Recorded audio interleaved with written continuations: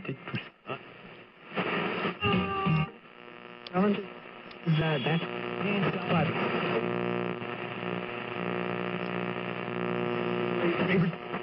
You know these teeth. Cool.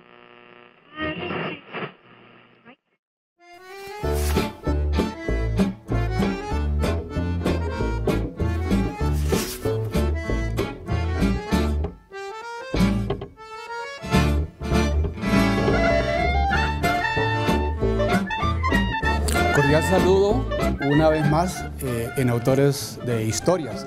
Esta vez tenemos la presencia de Luis de la Peña, un historiador egresado de la Universidad Nacional, posgraduando en algunas universidades europeas.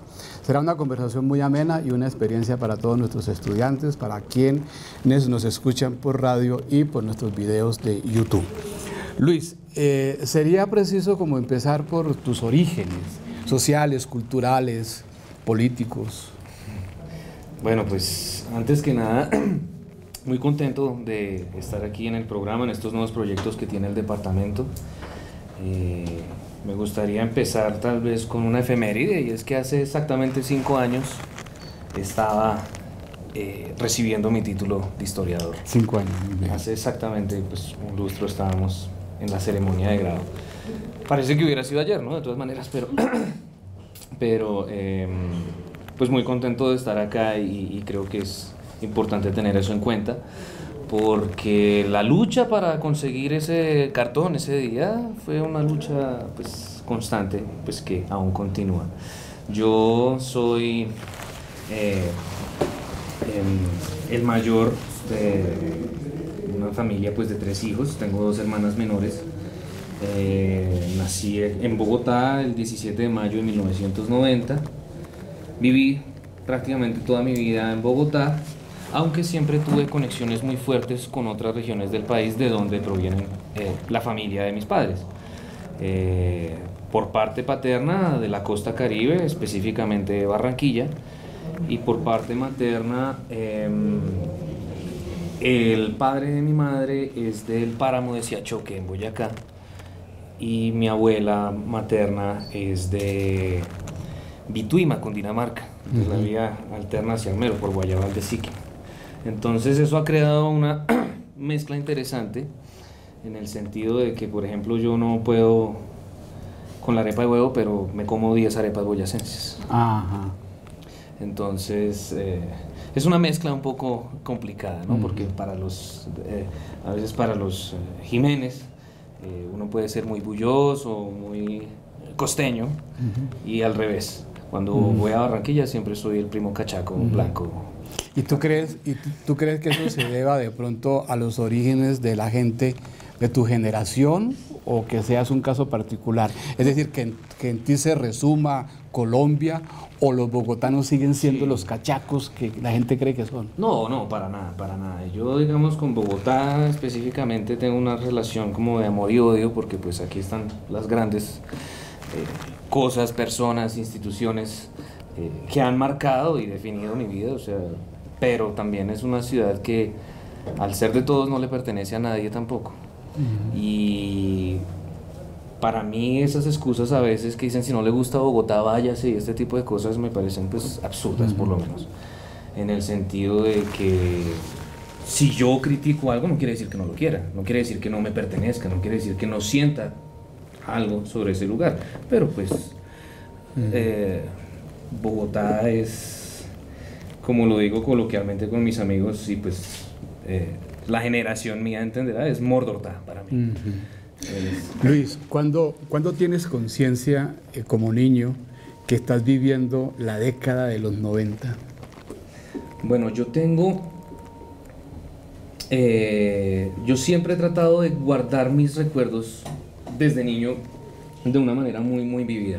Y recuerdo perfectamente, o, mejor dicho, mi memoria hasta el punto inicial en el que puedo llegar es la noche del 19 de diciembre de 1993, 8, 8 y 30 de la noche, en la que eh, tengo un recuerdo profundamente fuerte de estar enfrente del televisor demasiado cerca para un niño de esa época por cuestiones eh, tal vez del mismo acontecimiento estaba solo, pero eran los últimos minutos del partido América de Cali contra Junior de Barranquilla en el Estadio Metropolitano.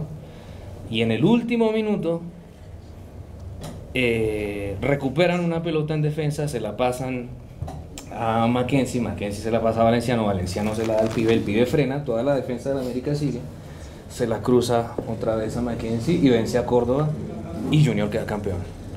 Y eso para mí fue una cosa tremendamente potente y fuerte, o sea, me marca, me acuerdo y me hizo, es, es tremendo.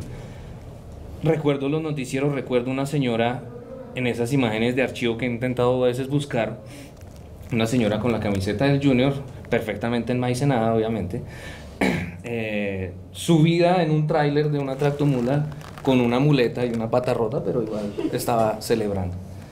Recuerdo también que a los dos, tres días mi papá llegó con un uniforme del Junior y ya Ajá. no hubo salvación.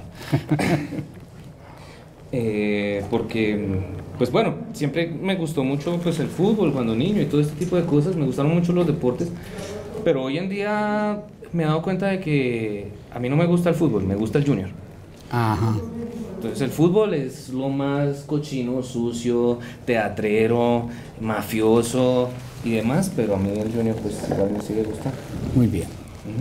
Pero de los acontecimientos eh, trágicos, de, la década de- del 90 fue una, una década sobrecargada de intensidad política. Digamos, un, un niño que está estudiando y, y escucha eh, los asesinatos de, Sí. de tres candidatos presidenciales. Es decir, ¿cómo vive eso? Bueno, eh, yo siento que mi generación, específicamente de esos años 88, 90, eh, es una generación que hasta cierto punto venció la muerte, que significó esa gran guerra del narcotráfico. Y eso también influye mucho en la relación que yo tengo con mi familia hasta cierto punto. Eh, yo tuve un hermano mayor, Luis Enrique, él murió de cuatro meses por una Ujú. complicación cardíaca. Eh, nació prematuro, en fin. Eh, y posteriormente yo nazco en el 90, yo sí nací, digamos, a- eh, con el tiempo de gestación necesario, pero nací, siempre he sido pues una persona, digamos, con un organismo débil, por decirlo de alguna manera. Siempre flaco, siempre enfermizo, eh, con asma, con un montón de complicaciones. Y eso, sumado al contexto, sumado a la muerte de mi hermano, hizo que mis papás fueran tremendamente sobreprotectores conmigo. Eh, y eso va también a generar otras condiciones eh, posteriores. Pero volviendo al tema de crecer en esa época, eh, bueno, mi mamá eh, era el Día de la Madre cuando Pablo Escobar eh, en el 90 puso como ocho bombas simultáneas en diferentes partes del país para eh, boicotear las elecciones presidenciales y ella estaba a punto de detenerme. Eh, y fue una bomba en el Quirigua, cerca a la casa. Nosotros vivimos en el barrio Bolivia, ahí por la 80. Toda la vida hemos vivido ahí. Y pues, o sea, eran cosas tremendamente potentes. Yo me acuerdo perfectamente hablando con mi mamá por teléfono después de la bomba del Parque La 93 y ella estaba en la esquina y se salvó por un pelo, como decimos. Y las historias después que van a contar mis papás, de, o mi papá, por ejemplo, contaba que él estaba cerca para lo quemado el día de la bomba del DAS. Eh, en la toma del palacio mis papás se acababan de casar. Entonces es, digamos, nunca tocados directamente por el conflicto, lo cual pues es el caso de muchas familias también, eh, pero sí eh, con ciertos acontecimientos que van marcando la pauta. Ya después, eh, pues lo de los asesinatos de los, de, los, eh, de, los, de los candidatos presidenciales, digamos, no me tocan mis recuerdos, pero del conflicto colombiano y de la situación del país y de lo que es este país hasta cierto punto, yo también tengo un recuerdo muy, muy fuerte y es la toma de Mitú en el Mm. 98, 97, si no estoy mal. En ese momento, pues yo estaba en primaria y acabábamos de aprendernos los departamentos y las capitales.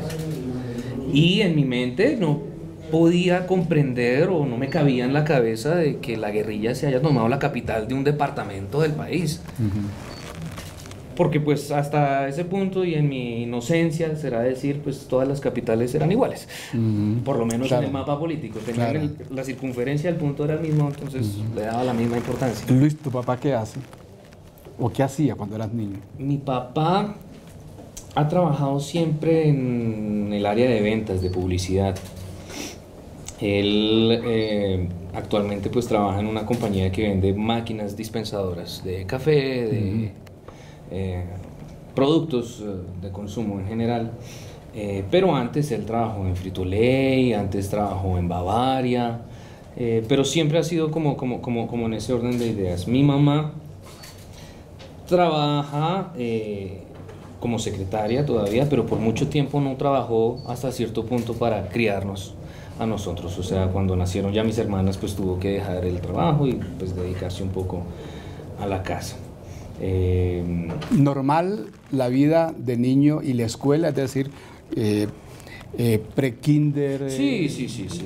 Em, tengo muy presentes pues también muchos recuerdos de esa época hasta cierto punto cuando éramos eh, pues a principios de los 90 y mi papá pues tenía como un mejor puesto em, dentro de esa misma lógica em, familiar bogotana de clase media, en ese momento era digamos la propia clase media, eh, buscando como una educación bilingüe para el hijo, entonces estudié en ciertos eh, estamentos educativos un poco tal vez em, muy de alta clase para, para, para el espectro sociocultural de mi familia, pero igual eh, pues estudiaba, hice, hice mi, mi, educación preescolar en, en, el Macmillan School, que suena así, pues bien pomposo, y es, es, todavía está ahí detrás de la clínica Reina Sofía, pero eso en el 93, 4 era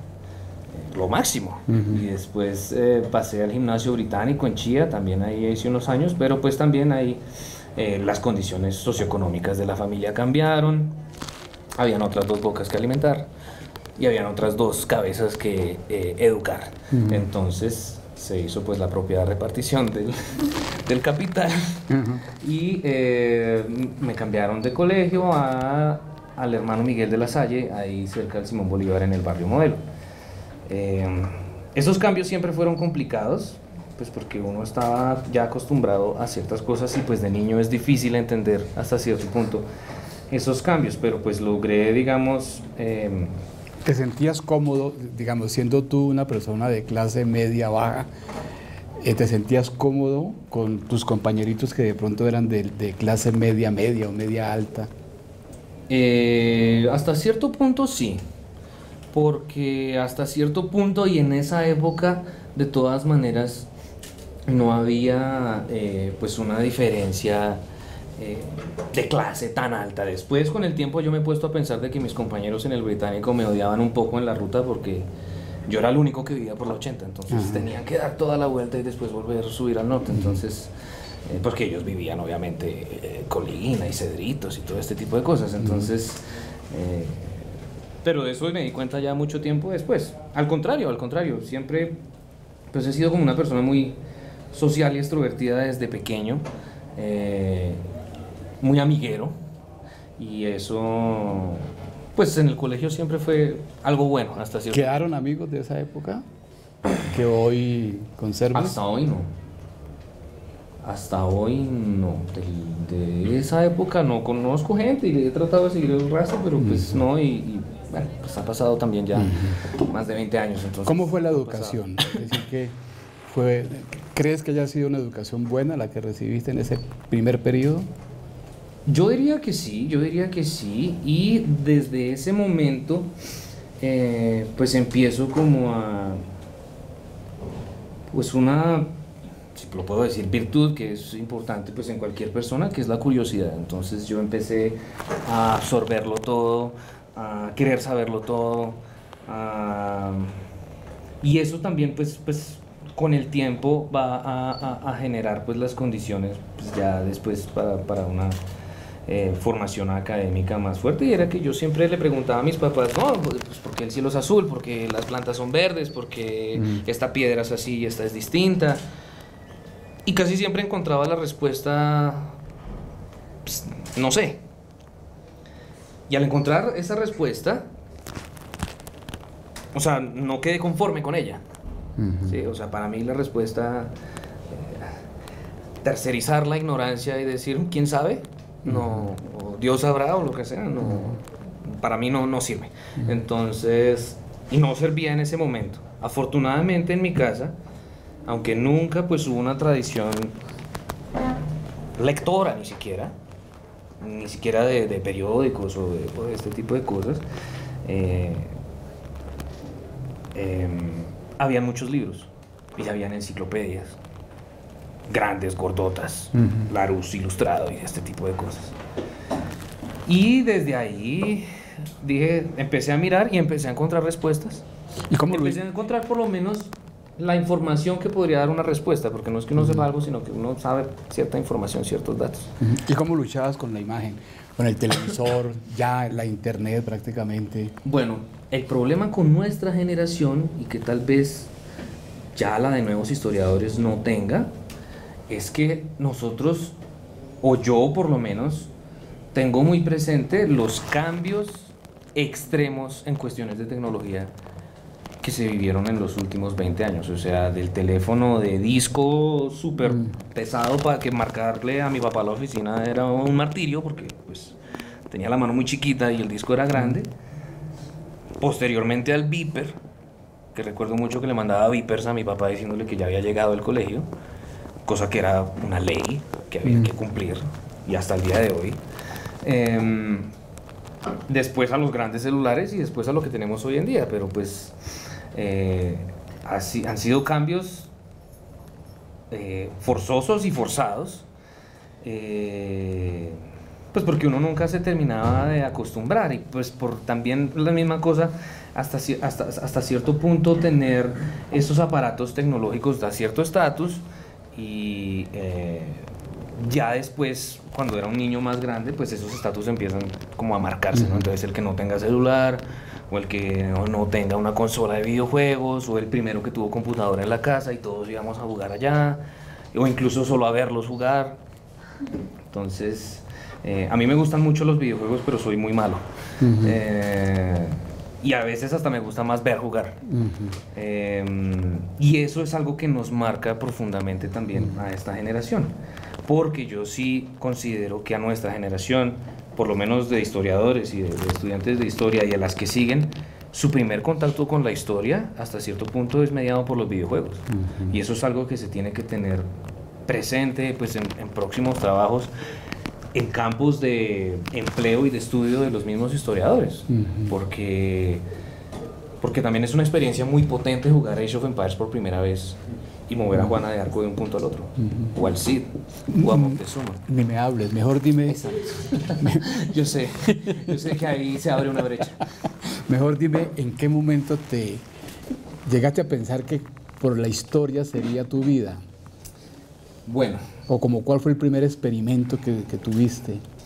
en ese orden de ideas de niño curioso y demás, pues eh, me iba muy bien en el colegio, en la primaria, hasta cierto punto, o sea, pues cuadro de honor y este tipo de cosas que pues al final sí queda reconocimiento, pero no son necesariamente las, las importantes, la calificación.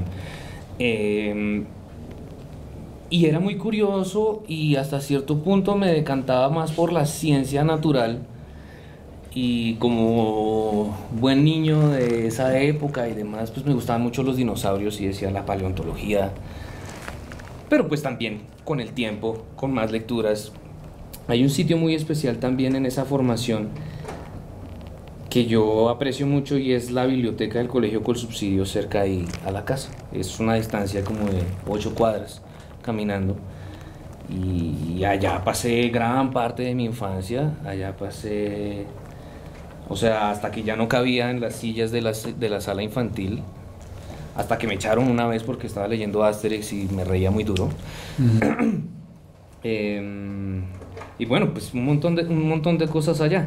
Y por esa misma condición, hasta cierto punto enfermiza que tenía, eh, también, en- o sea, para mí el mejor va a sonar un poco eh, lúgubre, pero leer en una sala de hospital es lo mejor, o sea, es cuando más me rinde leyendo cualquier cosa. Hasta cierto punto en la carrera, en la universidad, me iba a, a- a las salas de espera. Entonces, eh, pues porque cuando era niño tuve como ciertas operaciones y ciertos tratamientos que me hacían ir prácticamente cada ocho días a la clínica, pues también de Cursusiva en la 67.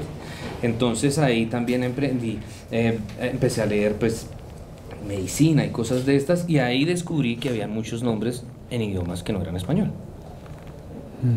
Eh, y descubrí también pues que estaban en griego o en latín, entonces me empecé como a interesar, güey, ¿y esto qué es?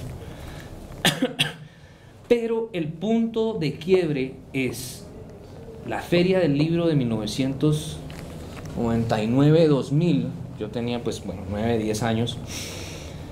Y la feria del libro de Bogotá, pues que es el gran evento cultural hasta cierto punto de esta ciudad.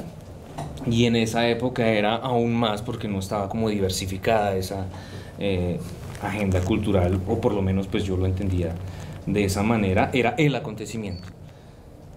Pero pues de feria a la feria el libro no tiene mucho. Los precios son bastante elevados y un libro en Colombia es tremendamente costoso. Eh, entonces fuimos al pabellón de saldos de la Panamericana, que ha estado pues toda la vida, buscando tal vez alguna promoción. A mí me gusta mucho la Feria del Libro porque pues lo ponen en el Día del Idioma, que es a finales de abril, y yo cumplo años en mayo. Mm. Entonces generalmente salvaba ahí mi cumpleaños eh, en ese aspecto. Y en el centro del pabellón vi un libro azul rey en la portada con letras doradas y un montón de ilustraciones que me impactó tremendamente. Y decía Iliada, Odisea, Eneida. Un libro pues de gran tamaño, grande, o sea, de volumen, eh, ilustraciones tremendas, eh, y yo era fascinado. Pero era costoso, no me acuerdo el precio ahorita, pero era un libro costoso, del libro costoso, lo suficientemente costoso para que la mamá lo jale a uno y lo lleve a otra parte. Pero en ese momento, la única, digamos, rabieta que yo le hice a mi mamá por algo, por algún capricho que tenía fue en ese momento. Y no me moví, creo que me tiré al piso y todo, hasta que mi mamá al final dijo, bueno, lo, está bien. Y lo consiguió. Todavía lo tengo, es tal vez mi posición más preciada, pues, de las pocas que pueda tener. Eh, y era un libro que me lo sabía, o sea, lo volví a abrir en estos días que pues volví a la casa y, y, pues era tremendamente impactante porque todavía, por ejemplo, tiene dibujos míos adentro que yo hacía de Aquiles y de Héctor y de Odiseo después y la versión romana con Eneas, pues que pues uno siempre tenía como esa, o sea, ya para esa época uno sabía la Iliada, la Odisea y tal, tal, pero no se hablaba de la Eneida. Entonces para mí era una nueva historia, el lado B de la historia. Entonces yo quedé profundamente prendado. eh, voy a decir una palabra que dice mi papá mucho, pero que yo también repito, que es atarsanado a ese libro y a esa época. ¿Atarsanado? Atarsanado, sí.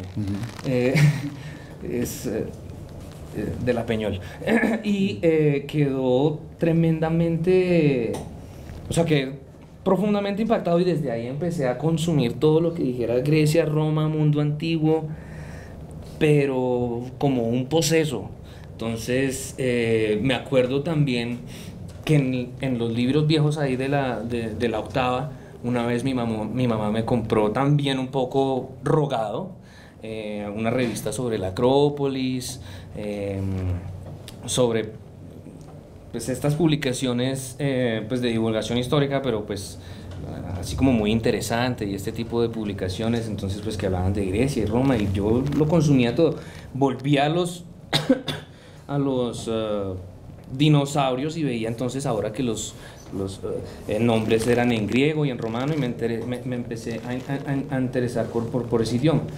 Eh, ya en esa época terminé la primaria, pero digamos que mis padres tenían otros planes para mi eh, futura formación. Eh, el colegio pues de La Salle era un colegio privado que tiene pues varias digamos variantes, entonces está el de La Salle del Norte que es pues para gente del norte, Estaba el del modelo, que es para gente pues, de clase media, pero también por la misma situación, entonces, y por la misma calidad del siguiente centro educativo, me presenté al Instituto Técnico Central. Eh, el Instituto Técnico Central, eh, pues es una institución tremendamente antigua, en la 13 con 16, pero pues cuando uno tiene 11, 12 años, es un lugar bastante lúgubre y peligroso hasta cierto punto. Siempre que nos encuentro pues con amigos del colegio, pues hablamos de que qué lindo lugar para crecer atrás de la estación de la Sabana, eh, en la época en la que estaban haciendo el Transmilenio por la 13, en la que todavía pasaban los buses viejos y todo. Entonces, eh, después paso a ese colegio y también voy a hacer aquí una eh, analogía un poco cercana más a mi generación y es que yo me sentía un poco Harry Potter. Porque era sacado de una realidad llevado a una totalmente distinta porque pues en el técnico la educación es técnica. Y yo soy bachiller técnico industrial en metalistería. Y yo sé soldar y soldadura de acetileno, MIG, TIC, todo este tipo de cosas, forja, en fin. Y era pues muy particular, porque entonces eran un montón de niños nuevos, por esa misma formación técnica no se aceptan niños o no se aceptan estudiantes que no sean en sexto, que no entren desde sexto y empiecen a ser formados desde sexto. Y en sexto le hacen a uno una rotación por todos los talleres que había, fundición, modelería, metalistería, dibujo técnico, electricidad, sistemas, ta, mecánica industrial, motores. Y uno iba eh, en ese tipo de educación em, que había sido concebida desde 1905 que se fundó el colegio para huérfanos y después para, para eh, sirvió como sede de la Universidad Nacional, sirvió como sede de la Normal Superior también mucho tiempo ese edificio, después volvió a los hermanos eh, de la Salle. Y uno rotaba por ese colegio, eh, por, por, por, esos, por esos talleres y después tenía que escoger uno acorde a sus aptitudes, a sus habilidades, a sus actitudes también hacia, hacia, hacia esta cuestión y cada especialidad tenía un overall distintivo. Entonces era como, o sea, me sentía Harry Potter en el sentido de que llegaba a un nuevo espacio en donde había una clara división de casas y de clanes a la que uno pertenecía no se podía salir y estaba en constante competencia con los otros. Y entonces era común de, ah, es que son los de fundición, ah, es que son los de mecánica. Entonces, eso, y además era un colegio porque pues uno pasa por la 13 y ve la entrada, pero la entrada es pequeña. Cuando pasa al colegio, uno ve esos tres grandes patios, ese edificio republicano, la torre enorme que tienen, y es bastante intimidante. Y hasta cierto punto ya después yo hacía las analogías de que eso se sentía como un anfiteatro romano cuando eran pues las finales de microfútbol o este tipo de cosas allá. ¿Qué pasa entonces? Hasta cierto punto pues mis papás muy contentos con esa nueva educación y es un gran colegio, es un muy buen colegio y debo decirlo que pues hasta cierto punto eh, tengo recuerdos más eh, alegres del colegio que de la universidad hasta cierto punto, aunque en la universidad pues también pasaron cosas muy buenas e interesantes, pero en el colegio eh, los hermanos de la Salle, al ser pues una congregación religiosa, católica, eh, buscando también dentro de esa perspectiva eh, sociocultural bogotana de que la educación religiosa es mejor que, que, la pública, por ejemplo, que la distrital o, mm o, que la educa o la, laica, entonces la secular, entonces eh, entro pues a, a, esos colegios bajo la égida pues de los hermanos y ellos eh, al ser una congregación hasta cierto punto diría yo de la ilustración y no como los jesuitas o los franciscanos que son pues medievales o de los primeros tiempos modernos ya tenían una concepción distinta pues de la educación. Y obviamente era tremendamente pues, religiosa, teníamos misa cada semana, eh, eh, yo hacía pues parte de la banda y tenía que ir a todas las misas y a las ceremonias y tocábamos los honores al Santísimo y todo este tipo de cosas, pero a la vez organizamos foros de filosofía ya cuando estaba en los últimos años del colegio para los 150 años de Nietzsche, por ejemplo. del grupo de Cali. No, no, no, de Federico. Ah, de Federico. Eh, porque esos todavía no tienen 150 años. Esperemos estar para los 150 años. Eh, y, em, o sea, se hablaba de filosofía, o sea, de la escolástica, pasábamos pues un poquito ahí por Descartes y todo, pero entrábamos de uno al siglo XIX, incluso filosofía continental después y todo, y la discutíamos en clase sin ningún tipo de censura o recelo por parte pues de, las, de que estuviéramos hablando, de que estuviéramos leyendo pues eh, Zaratustra y lo que sea, y Dios ha muerto, y después la náusea de Sartre y todo este tipo de cosas, sin ningún problema, y lo discutíamos enfrente de ellos, y ellos al contrario, eh, pues veían digamos esa participación activa y, y, cooperaban pues eh, en ese sentido, aunque dentro de las humanidades sí encontraba mucha reticencia. Y ahí vienen, pues, digamos, los problemas en el colegio porque eh, la educación es técnica enfocada tremendamente hacia las ciencias exactas. Entonces, pues mis amigos, el 90% son ingenieros del colegio. Eh, yo pasaba por la facultad de ingeniería aquí en la universidad y pues era como volver al colegio, todos ahora con el pelo largo y barba, pero pues eran los mismos del colegio. Eh, y hasta cierto punto en 11 o en el último grado pues del colegio veíamos em, cosas que aquí se ven en cálculo 3, cálculo 4 en las ingenierías de acá, de la nacional.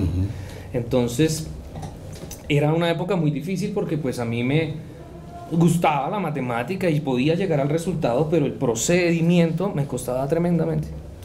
Entonces entramos ahí en una economía un poco simbiótica con mis compañeros y en las que yo les ayudaba en español, en filosofía, en ciencias políticas y demás, y ellos me ayudaban en física y en matemáticas, porque pues había que sobrevivir. El colegio y el técnico central era una cuestión de supervivencia hasta cierto punto.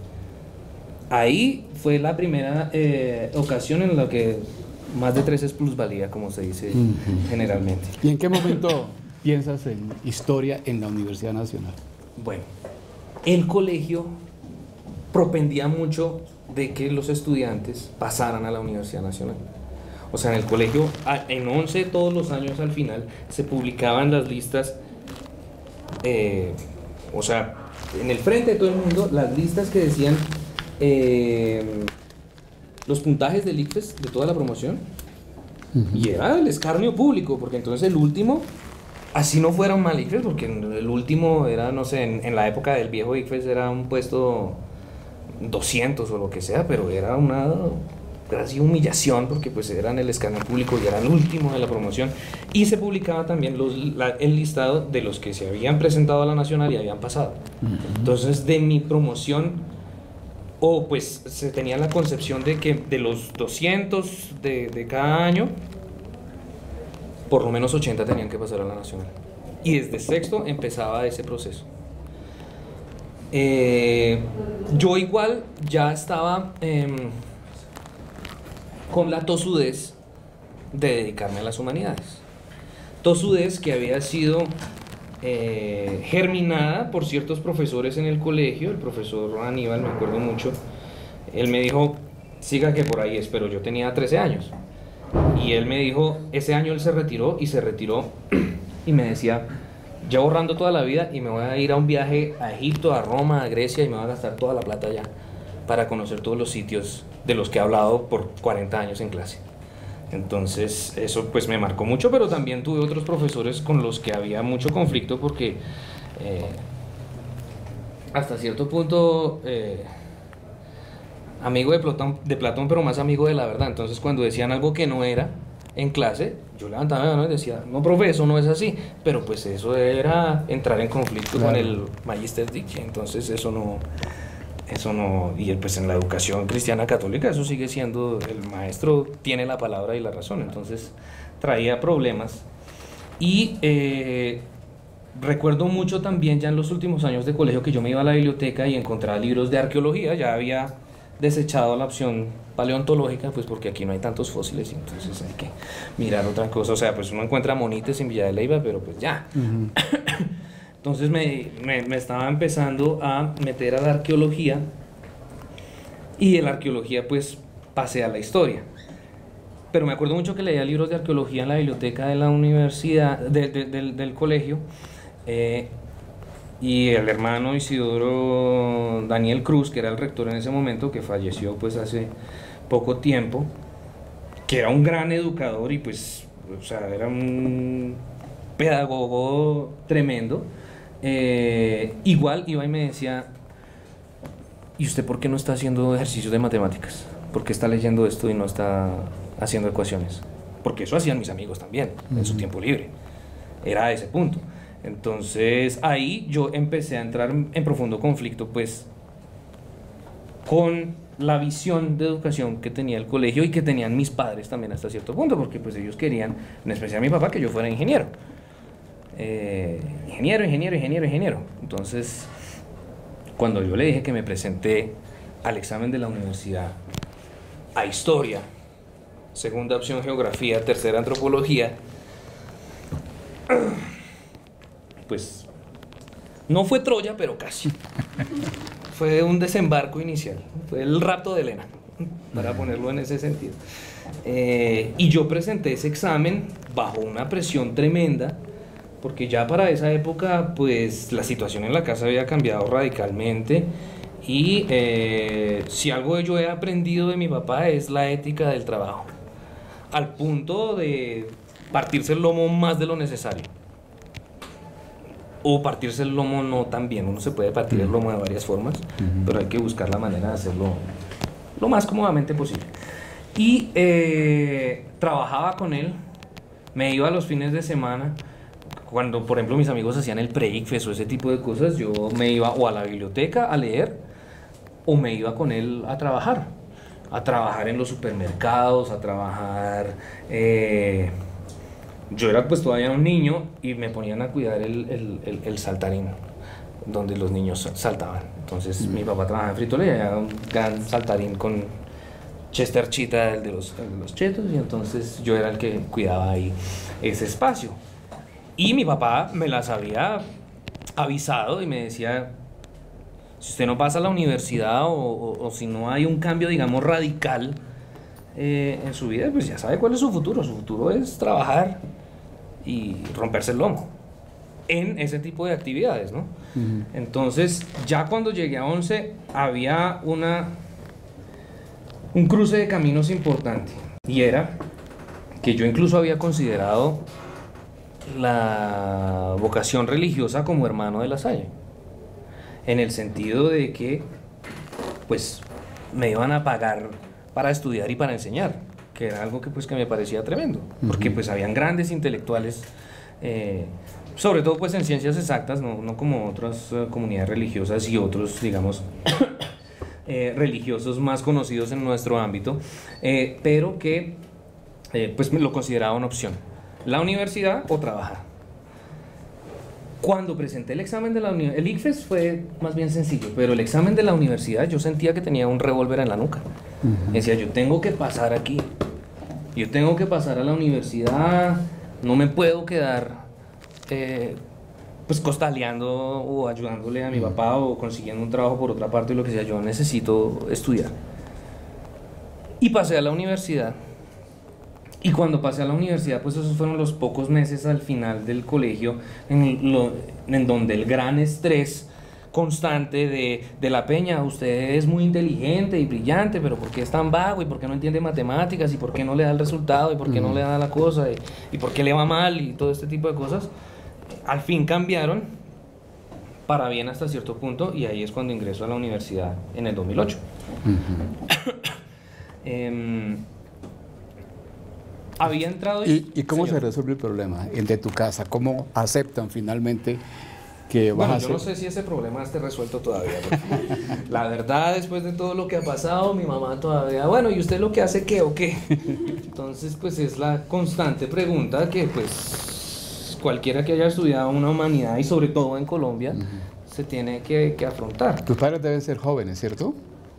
No tanto, al contrario, yo con mi papá me llevo más de 30 años Sí. Sí. Ah, eh, y con mi mamá me llevo 28 exactamente. Eh, entonces, dentro de su concepción, dentro de también, digamos, de la familia extendida, hay eh, concepciones sobre las vocaciones un poco distintas. Entonces, en ese sentido, eh, yo soy el primero de mi familia que estudia en la Universidad Nacional. Y yo soy el primero de mi familia que se ha graduado de la Universidad Nacional.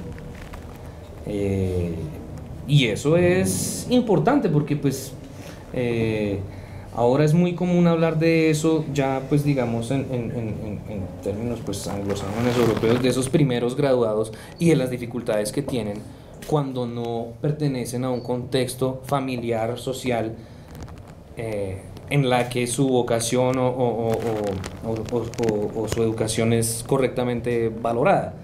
En el sentido de que uno se encuentra con mucho, con una atmósfera antiintelectual. ¿Usted por qué lee?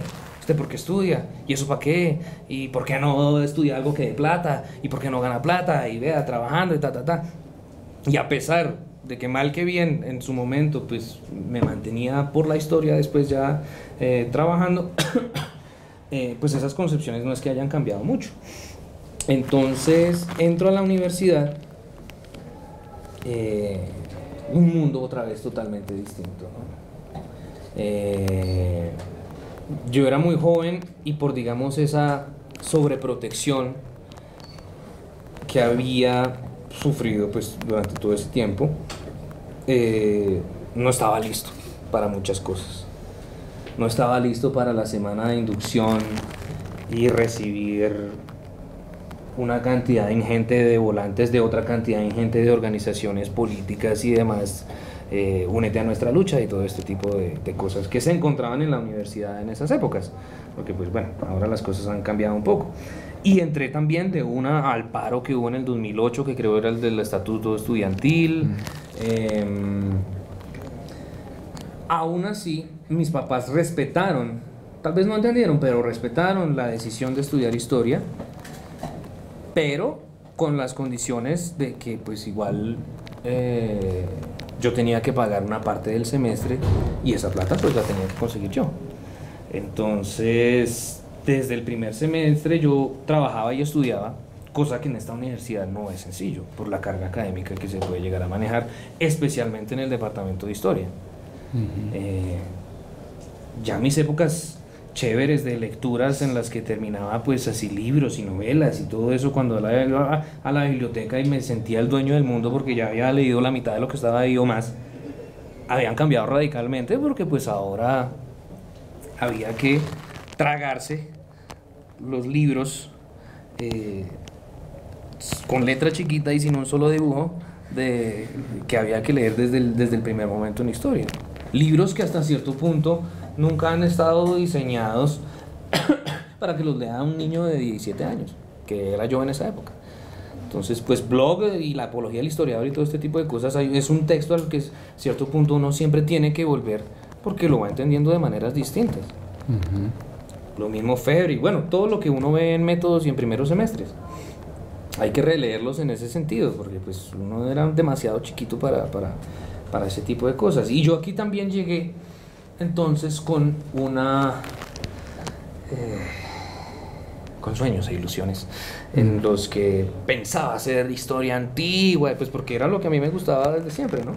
Entonces digamos que tengo esa frustración clasicista un poco ahí. Eh, y aquí pues obviamente aterrizado. Me dicen, aquí no se puede así mucho de eso porque pues las fuentes y demás y el departamento funciona de cierta manera y de todas maneras que es algo que sigue pasando, hay muchísimas cosas que hacer de la historia colombiana. Y para eso hasta cierto punto estamos aquí y estamos trabajando, que es para solventar esos vacíos. Entonces ahí pues pasando los semestres, pasando las materias, me empiezo pues a acomodar un poco a la universidad. Mis compañeros en ese momento me llevaban varios años de diferencia, por lo menos en mi generación, pues yo era de los más, más pequeños. Y no es lo mismo un viernes a las 5 de la tarde, después de haber jugado fútbol o lo que sea, con tus compañeros que tienen 25 o más, y tú tienes 17 y todavía no tienes cédula ni nada, viernes en la Universidad Nacional. Entonces, pues, los momentos de esparcimiento tuvieron que también esperar un tiempo. Eh, y, y, pues siempre había, digamos, como, como esa distancia, no generacional, pero sí de edad. aunque pues igual se sigue teniendo pues el contacto con ellos. En ese sentido, eh, ya en la universidad paso por varios trabajos. Trabajé pues en una oficina, muy de 8 a 5, call center, y hasta cierto punto dije, voy a hacer lo posible. Cuando salí de allá dije, voy a hacer lo posible para no volver nunca a un sitio de estos. O sea, de salir de 8 a 5, estación de la 100 con autopista norte. Eh, no. Yo no estoy estudiando historia en la Universidad Nacional aquí para eso. Necesito, pues, o sea, calmar mis ansias de conocimiento o de saber o mi inquietud o lo que sea de otra manera y no me puedo quedar aquí. Entonces, pero igual, pues era la necesidad, ¿no? que obliga a, pagar el semestre, que obligaba pues a cubrir ciertas eh, obligaciones y necesidades que se tenían aquí también y pues bueno, la historia de la gran mayoría de los estudiantes de la Universidad Nacional, que es vivir en una economía de guerra. Bueno, pero profesionalmente, ¿cómo te fuiste organizando? Es decir, ¿hacia dónde fueron fluyendo tus intereses profesionales, investigativos, haciendo la carrera? Entonces, durante la carrera, eh, o mi paso en la universidad, para mí era muchísimo más o sea, para mí estar en la universidad era estar en vacaciones. Mm. Cuando llegaban las vacaciones y cerraban la universidad o lo que sea, para mí era una tragedia. Porque pues tenía que quedarme en la casa, eh, tenía que trabajar para poder pagar el siguiente semestre. Entonces ahí es, por ejemplo, donde yo trabajo en... Yo trabajaba en Corferias, en la Feria del Hogar y en Agroexpo, eh, cargando cerveza. Entonces se cargaba la cerveza y, y era un trabajo bastante cruel hasta cierto punto, porque llegaba a la casa a las 2 de la mañana, sudado, sucio y oliendo a cerveza, pero no me había tomado una. Entonces era, era, era, era eh, injusto hasta cierto punto, eh, cruel. Eh, pero en la universidad, al pasar las materias, empiezo a reacomodarme todo empiezo a conocer las bibliotecas, pues que la biblioteca de posgrados, la hemeroteca, la central, que en ese momento estaba cerrada y había que esperar como más de media hora para que uno le dieran un libro que estaba en el polideportivo. Eh, pues me empecé a interesar por un montón de temas y pues tenía las lecturas de clase, pero igual me pasaba otras cosas. Entonces seguía con la tosudez clasicista y me iba a leer la Ciropedia al bosque al lado de la capilla, en una edición genial que tienen en la biblioteca de posgrados, en donde está una página en español y la otra en griego. Entonces, pues ahí comparaba y yo empecé pues un poco muy autodidacta a, aprender griego y después un poco de latín, hice un curso de extensión aquí también pues en griego clásico. y ahí empiezo a tener las grandes preguntas que pues todavía tengo que son referentes a la guerra. Entonces, dentro de nuestro gremio como historiadores, tanto en el mundo hispanohablante como en el anglosajón, hay mucha reticencia y tabú sobre el tema de la historia militar. Porque uno dice que hace historia militar y se imaginan que en la casa tiene un RPG, dos Kalashnikov, eh, un sable de caballería napoleónico y quién sabe qué cosas más. Cajas de munición, en fin. Y no es así. Y eso hasta cierto punto está fundado en una rampante ignorancia de no haber leído los historiadores militares que generalmente en sus prólogos siempre se tienen que justificar a ellos mismos diciendo todo lo contrario. Somos los más antimilitaristas que pueden haber. Entonces, mm. Geoffrey Parker, John Keegan, eran mis, mis, mis, lecturas muy al principio de la carrera. John Keegan, Historia de la Guerra, pues es un libro eh, que me marca tremendamente y es hasta cierto punto entender cómo puede ser posible que un ser humano mate a otro y por qué. O sea, actuar con la violencia máxima de acabar con la vida de otro ser humano. Entonces, pues ahí llegaban las lecturas también de William McNeill.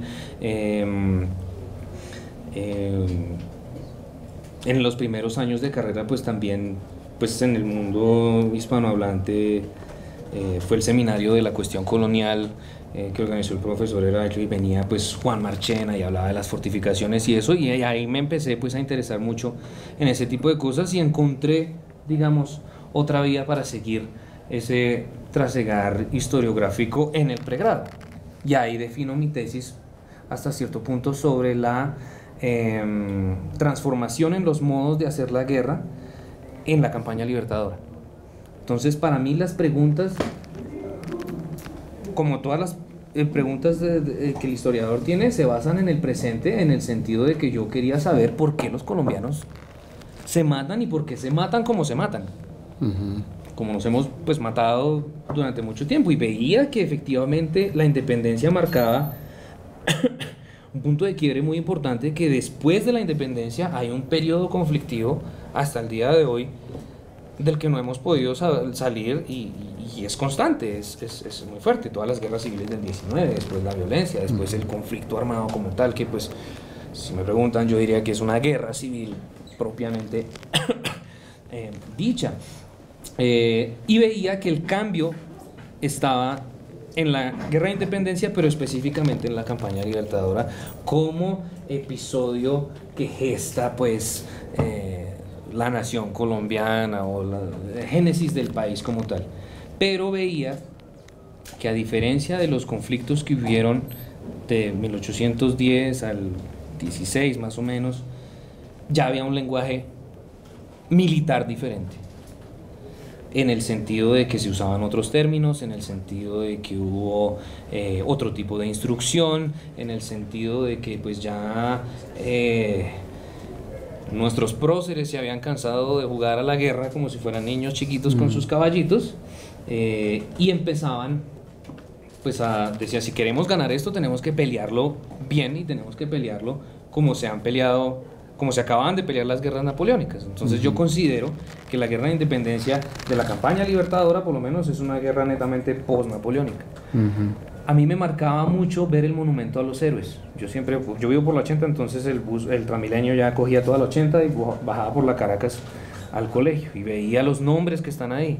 Húsares de Junín, granaderos, volticeros, que son palabras eh, francesas. Y eh, ese cambio se empieza a ver pues en la campaña. ¿Y cómo te va con la tesis?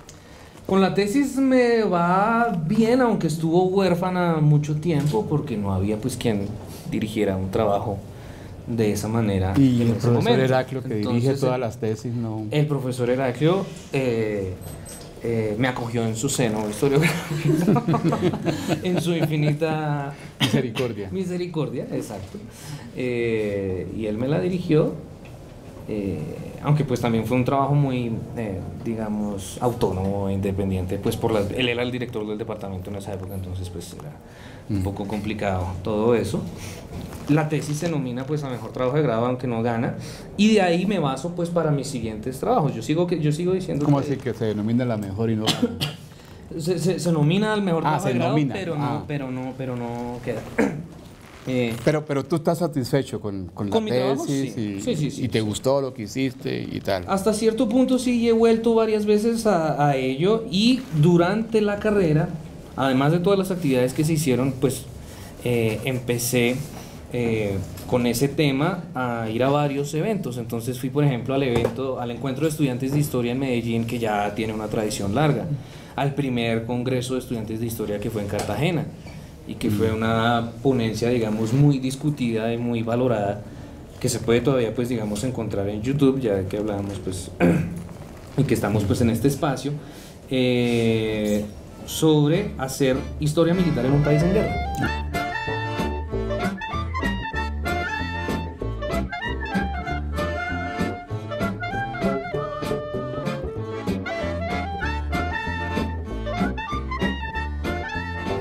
Interesante la, la vida que llevabas como, como estudiante integrado a todo lo que es, todo lo que significa un profesor, un, un estudiante eh, de historia en la época, ¿verdad?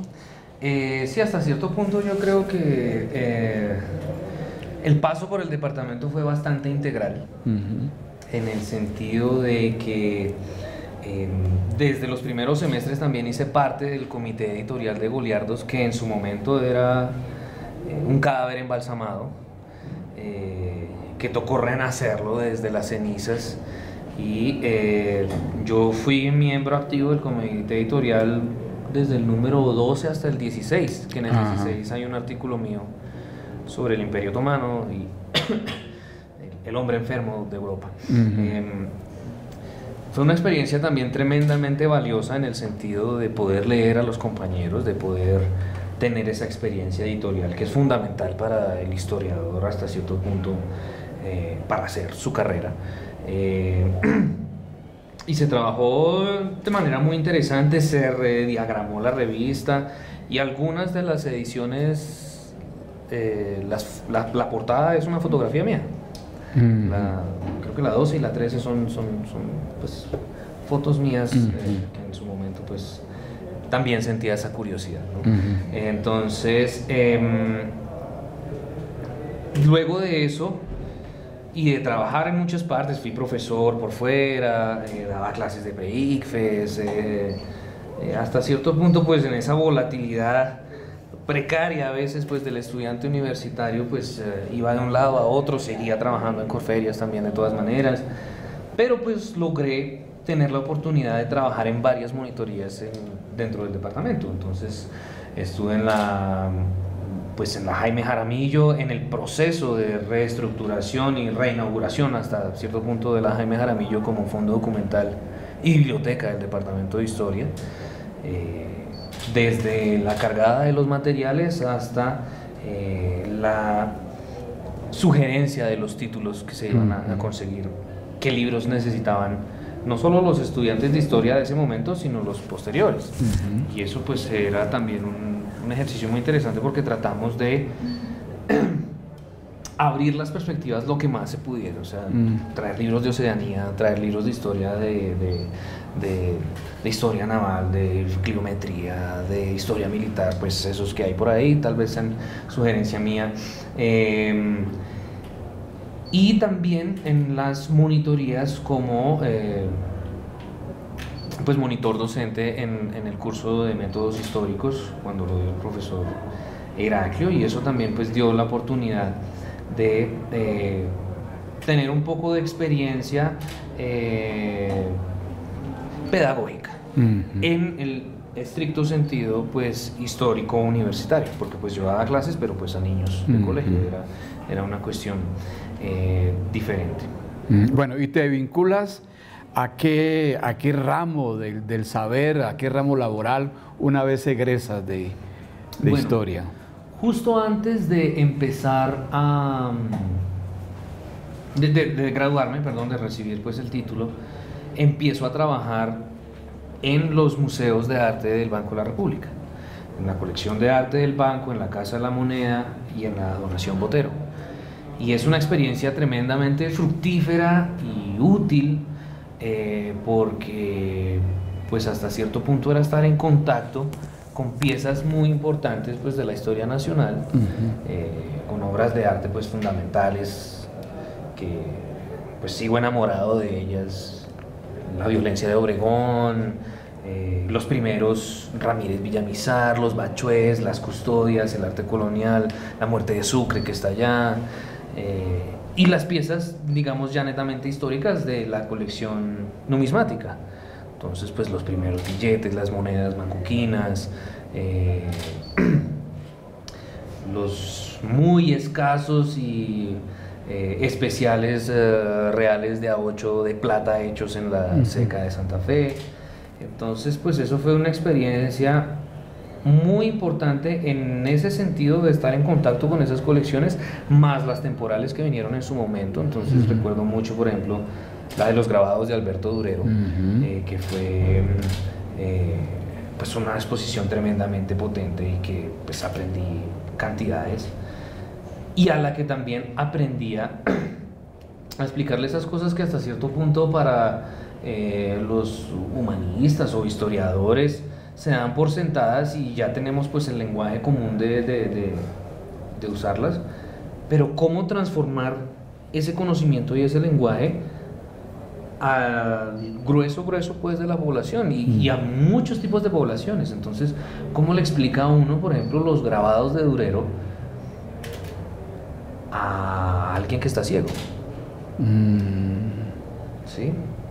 Eh, o pues como los museos del banco son, la colección del banco pues es abierta al público, no hay que pagar la entrada, lo cual es una gran ventaja en el momento de acceder a la cultura, que eso no se tiene en todos los países. Eh, todo lo contrario, sigue siendo a veces bastante costoso acceder a esa cultura. Eh, es interesante eh,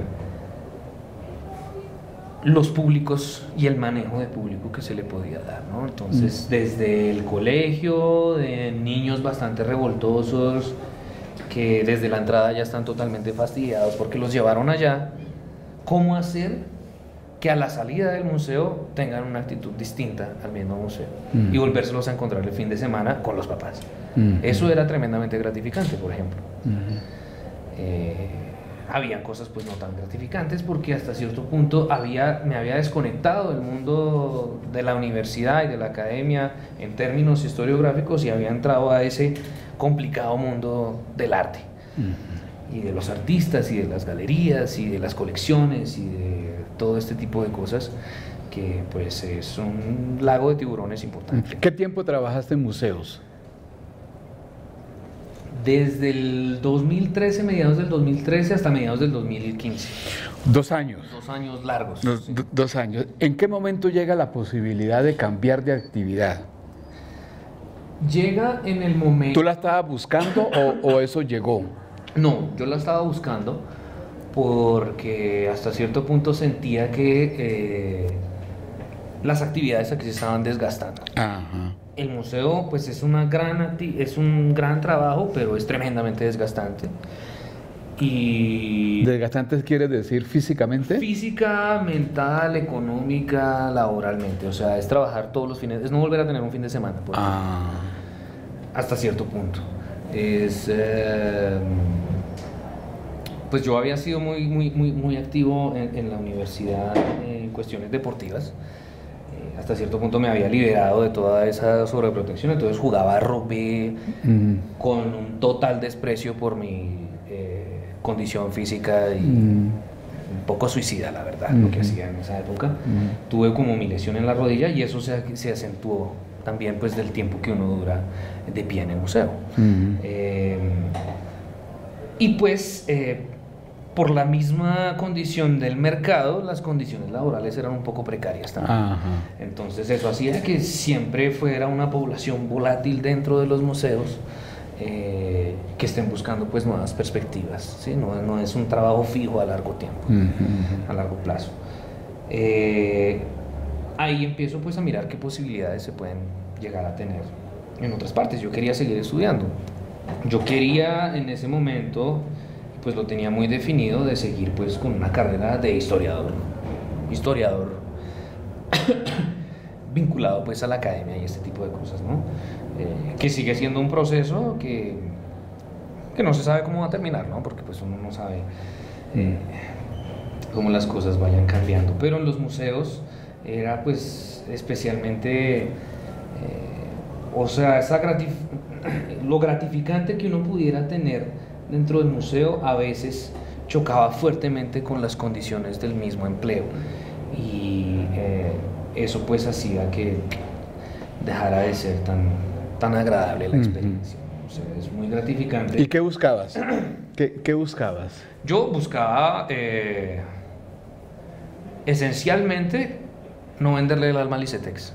Ajá. Eso era, eso era fundamental. O sea, entonces necesitaba encontrar una beca lo más completa posible en ese sentido. Y ahí es donde aparecen pues, las becas eh, de Turquía, que fue la que eh, me presenté en 2015 y pasé eh, la beca que se llamaba Ibn Haldun con pues el sabio. Y, en- y en ese momento, Turquía está viviendo una, una época de efervescencia económica Es cierto, que, es cierto. que le permite ofrecer becas para acá. Becas y ese tipo de becas, porque entonces la beca hasta cierto punto era pasajes ida y vuelta, que ya es ¿Mucho? la matrícula, un estipendio pues eh, mensual y además la posibilidad de comer en los dormitorios si te quedabas en los dormitorios de, de- de la universidad. Entonces era una gran oportunidad. Yo siempre tenía en mi cabeza al profesor Aníbal con sus rodillas también tremendamente desgastadas de dar clase 40 años que se iba a esos lugares a conocerlos y yo decía, no, yo los quiero conocer cuando las rodillas me sirvan. Claro, sí, sí. y todo, que todo usted funcione. Exacto. Entonces, en ese, en ese momento, eh, también en la casa, digamos, ya, o pues en el ambiente familiar, eh, social, se había llegado a un punto de desgaste y necesitaba un cambio y hasta cierto punto buscaba un cambio así de radical.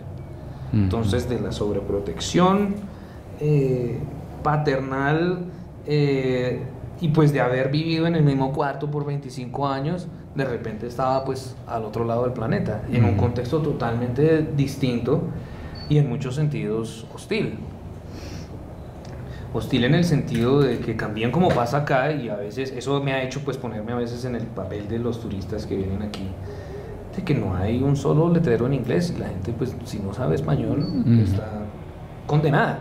Allá pasaba lo mismo, estaba todo en turco pues uno recién llegado no, no tiene pues qué hacer. Entonces pues yo había presentado mis exámenes de inglés y pues me defendía pues bien en inglés en cierta medida pues por lo que se había leído en la carrera que pues se leía pues mucho en inglés o pues yo leía mucho en inglés y eh, después de un proceso largo de selección de entrevistas de presentaciones en la embajada aquí en Bogotá en fin llegó el momento de irse pero yo tengo un inconveniente y es eh, mi apellido mi apellido que son en este mundo informático es una cuestión complicada porque es, son tres palabras y una tiene pues el carácter, eh, la letra española por antonomasia que es la ñ. Entonces era una cuestión tremendamente complicada y por eso los tiquetes nunca llegaron cuando debieron llegar. Entonces ahí empezó toda una lucha constante también, eh, como de un mes más para llegar a Turquía finalmente. Llego, eh, llegó a Izmir, la antigua Esmirna, en el Egeo, en la Turquía occidental, eh, la tercera ciudad de Turquía, después de Estambul y Ankara. Y hasta cierto punto es una ciudad un poco sui generis en el mismo país. Ellos mismos lo consideran así, o sea, ellos se refieren a Izmir como Gabur Izmir que viene pues del árabe kafir, que quiere decir infiel. Entonces es la infiel Izmir. ¿Por qué? Porque allá la gente sale, porque allá la gente toma, porque allá la gente va a bares, porque allá las mujeres no andan cubiertas, sino todo lo contrario. Mm. Entonces va un poco como...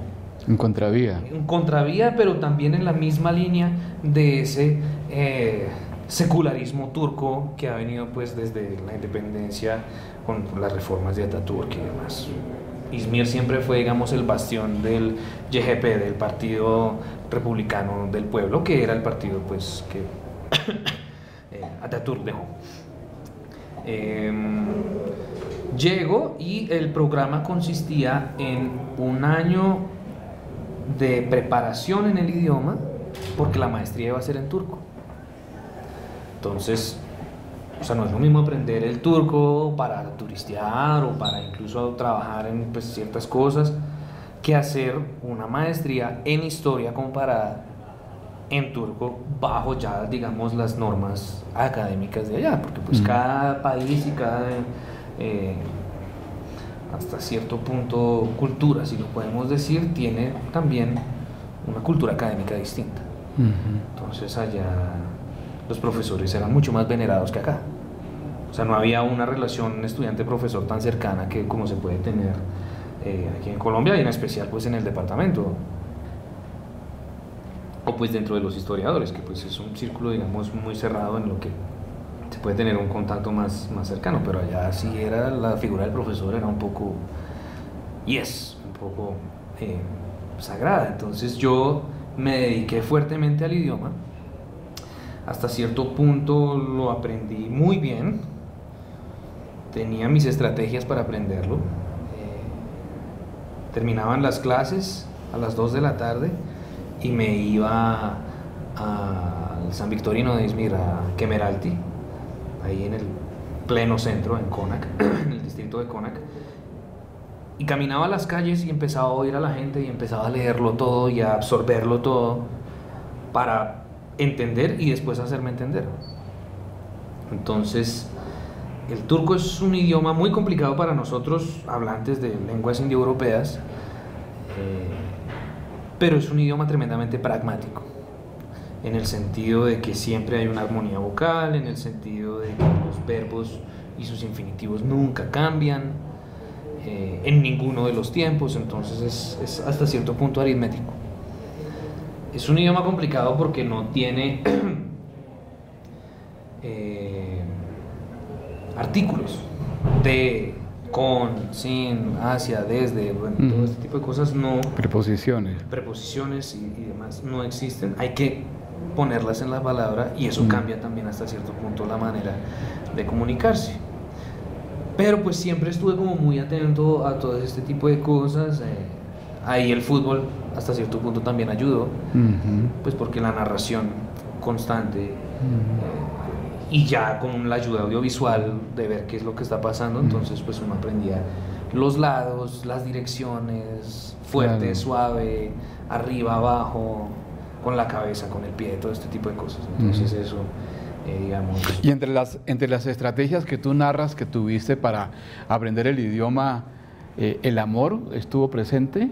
¿O No. alguna novia? algún- Eh, allá es un poco complicado ¿Sí? ese, ese aspecto, sí, porque a pesar de yo estar en la, en la ciudad más occidentalizada hasta cierto punto de Turquía, eh, hay muchas eh, cuestiones eh, culturales que chocan con nosotros, con una cultura latina, por ejemplo, que es pues muy afectuosa, muy de contacto físico. Entonces allá las cosas eran tremendamente diferentes. Entonces, eh, hasta cierto punto la única manera de relacionarse con el sexo opuesto era casándose. Entonces uno iba fácilmente un viernes o sábado a las zonas turísticas de, de, Izmir, de Izmir y veía varios grupos de parejas en fotoestudio de matrimonio, de parejas muy jóvenes, pero era porque pues hasta cierto punto ese era el conducto regular. Entonces, tenemos, obviamente tuve muchísimos amigos y amigas sobre todo, pero no se pudo eh, profundizar en ese aspecto. Ajá. Bueno, la- las relaciones con la gente que como tú iban a estudiar, cómo se desarrollaban en ese año del aprendizaje del Bueno, idioma. era algo muy interesante porque eh, mis amigos, o sea, el, el- el grupo que estudiaba el idioma eran todos los estudiantes becados en mi universidad, la 9 de septiembre de Kuseilyul University. eh, eh, University, sí, eh, y eh, ellos eh, pues venían de muchas partes, de muchos ah, contextos distintos, entonces pues andaba mucho, por ejemplo, con- con- con- con los africanos eh, del oeste, entonces muchos amigos de Senegal, de Nigeria, de Congo, eh, con los que teníamos cierta afinidad musical. Mm, Entonces yo a ellos les contaba que, por ejemplo, en Barranquilla, en los picos, se oye música africana, sucús, eh, y la música de Pepe Calé y de... Sucús All Stars, y bueno, toda, toda, toda esta música africana que se oye todavía en Barranquilla, en Lingala y en todos estos idiomas, pero que la gente se goza igual que si estuviera en, en, en Brazzaville. Entonces era algo muy interesante. Eh, no es, digamos, hasta cierto punto, o no era hasta cierto punto la escena típica que se ve en brochure de intercambio cultural en donde hay alguien de cada continente y este tipo de cosas, no. Evidentemente era más bien una cumbre de los no alineados, porque pues estaban los latinos, estaban los de Asia Central, estaban los del sur de Asia también, entonces pues muchos amigos de Vietnam, eh, Filipinas, eh, pero no era la típica reunión de Erasmus que a veces aparece Ujú. siempre, en donde pues es como muy europeo, muy, Ujú. muy centralizado el tema. Por las mismas condiciones eh, geopolíticas del momento, también habían muchos sirios e iraquíes. Eh, en el momento en que, bueno, Y eso ayuda en el, en el aprendizaje del Total, idioma. total, total, total, Bueno, fuera, fuera de las materias que tenían que ver con la lengua, ¿había otras materias en ese primer año? no, No. Únicamente el curso, lengua. El curso era intensivo de lengua, pero pues yo por mi cuenta pues me iba a exposiciones de arqueología, a museos, eh, mismas exposiciones de la universidad, porque pues ya uno estaba en contacto con la vida universitaria. Entonces cuando ya uno tiene la posibilidad de leer los carteles de los eventos, Claro. inmediatamente pues iba allá. Entonces hubo eventos sobre la historia de Izmir, eh, en la que se discutía pues está, o sea, están esos mitos, ¿no? De que Izmir como em, ciudad cosmopolita del Imperio Otomano, que efectivamente lo fue, pero no- cosmopolita en el sentido de que vivía mucha gente, pero no que se relacionaban entre ellos, los judíos con los judíos, los armenios con los armenios, los griegos con los griegos, los turcos con los turcos y así. Entonces, em, Ese periodo, ¿cómo, ¿cómo termina? Ese primer año, ¿cómo termina? ¿Cómo se cierra? Pasando la materia... Sí, pasando eh, con un certificado de que se terminó el curso y de que hasta cierto punto la persona que sale en ese papel habla turco. Y que ya puede pasar a la Y universidad. pasar Bien, ¿cómo se da ese tránsito entonces, en tu caso, de pasar del año del idioma al de... Bueno, profe, pues ese tránsito nunca se dio. Por eso. Entonces, ¿cómo es? Ese tránsito nunca se dio porque eh, la situación política se había complicado. O sea, ¿Tú, tú te la oliste? no, eh, no. no, la verdad no. No. No.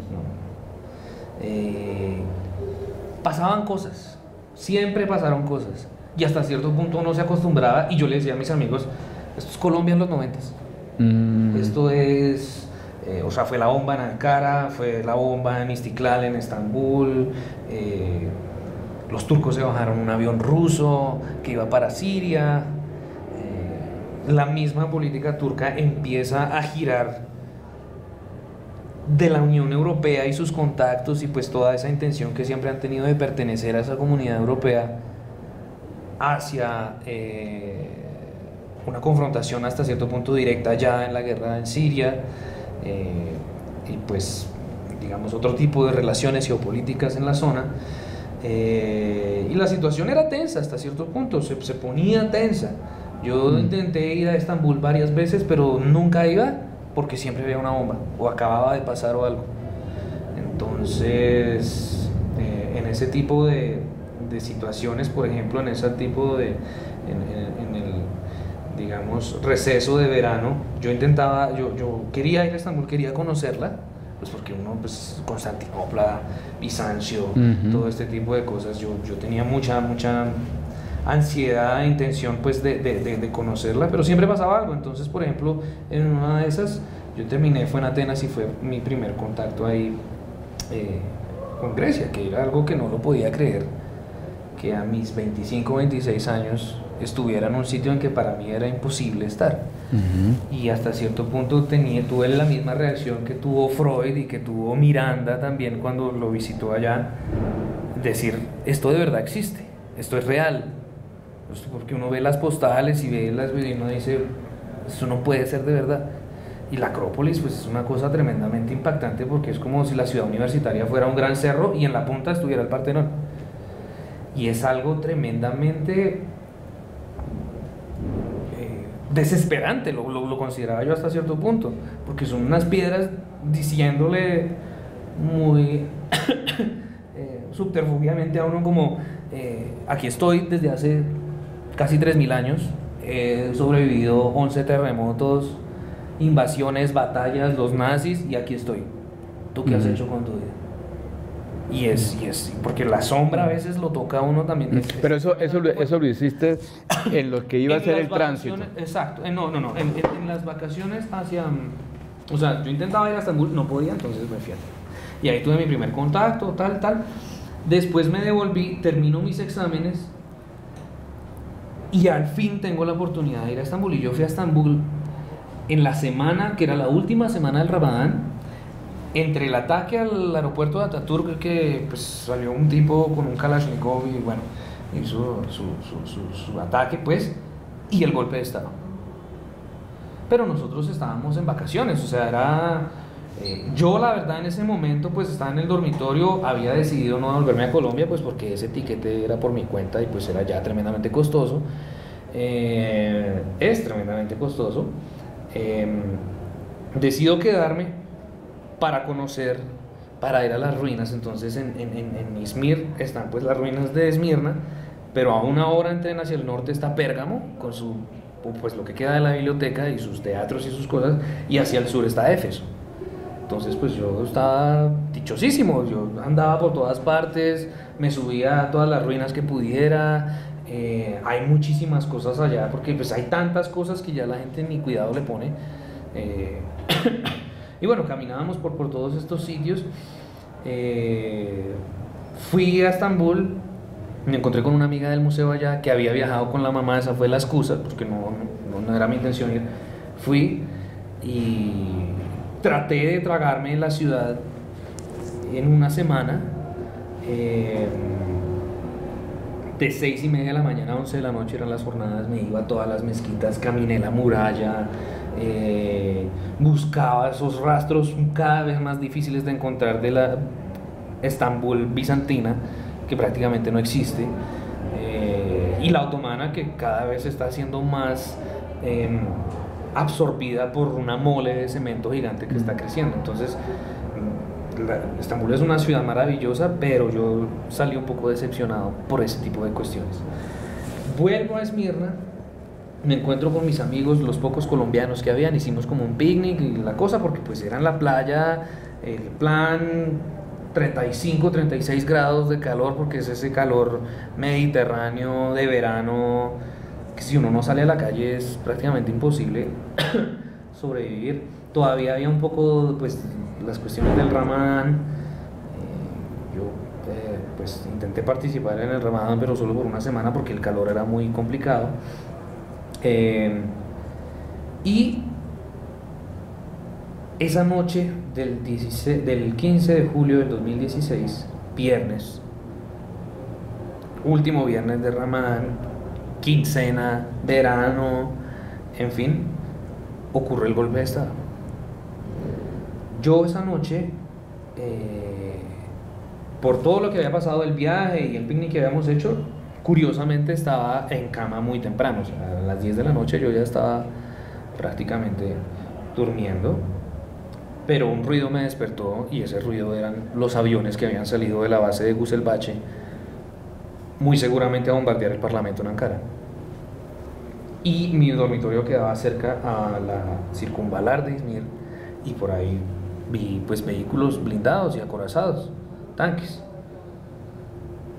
Todo muy raro, pero hasta cierto punto por la misma normalidad que, de los acontecimientos, de las bombas y de todo este tipo que había pasado, de todo este tipo de cosas que habían pasado, eh, pues... Eh, ya era, digamos, normal. O pues, no normal, pero pues no me tomó por total sorpresa. Em, de repente empiezo pues a, oír a los compañeros del dormitorio que se empiezan pues como a mover y a, y a, y y agitarse. Entonces pues me aviso a ver qué pasó, no, que hay que ver las noticias, que entonces fuimos al, al único televisor que había, que era en el comedor. Eh, y en ese mismo momento ya había gente en las calles, por ejemplo, celebrando. Y yo la verdad no entendía nada. Entonces ponen la televisión en JNN Turk, CNN Turquía. Está pues eh, la muchacha presentando las noticias y de repente llega un soldado y la quita. Y se lea este comunicado. Y era un golpe de Estado. Cerraron los puentes del Bósforo eh, no se sabía dónde estaba el presidente porque el presidente estaba de vacaciones. Llegaban las noticias de que estaban bombardeando el Parlamento con parlamentarios adentro, un viernes por la noche. Así trabajarán. Eh, y eh, todo era tremendamente confuso porque no se sabía qué era lo que estaba pasando. Si era un ataque contra el presidente, contra la nación, contra alguna parte del mismo ejército.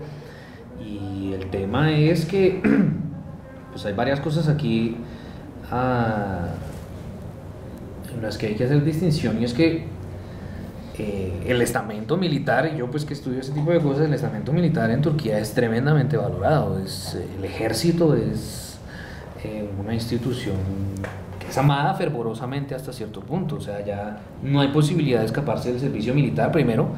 Segundo, cuando los muchachos van a prestar el servicio militar, los pasean como héroes por el barrio. Mañana se va y todo el mundo les, les, les, hace pues señales de respeto. Entonces era muy confuso pues que el ejército estuviera como atentando contra la nación, contra el pueblo.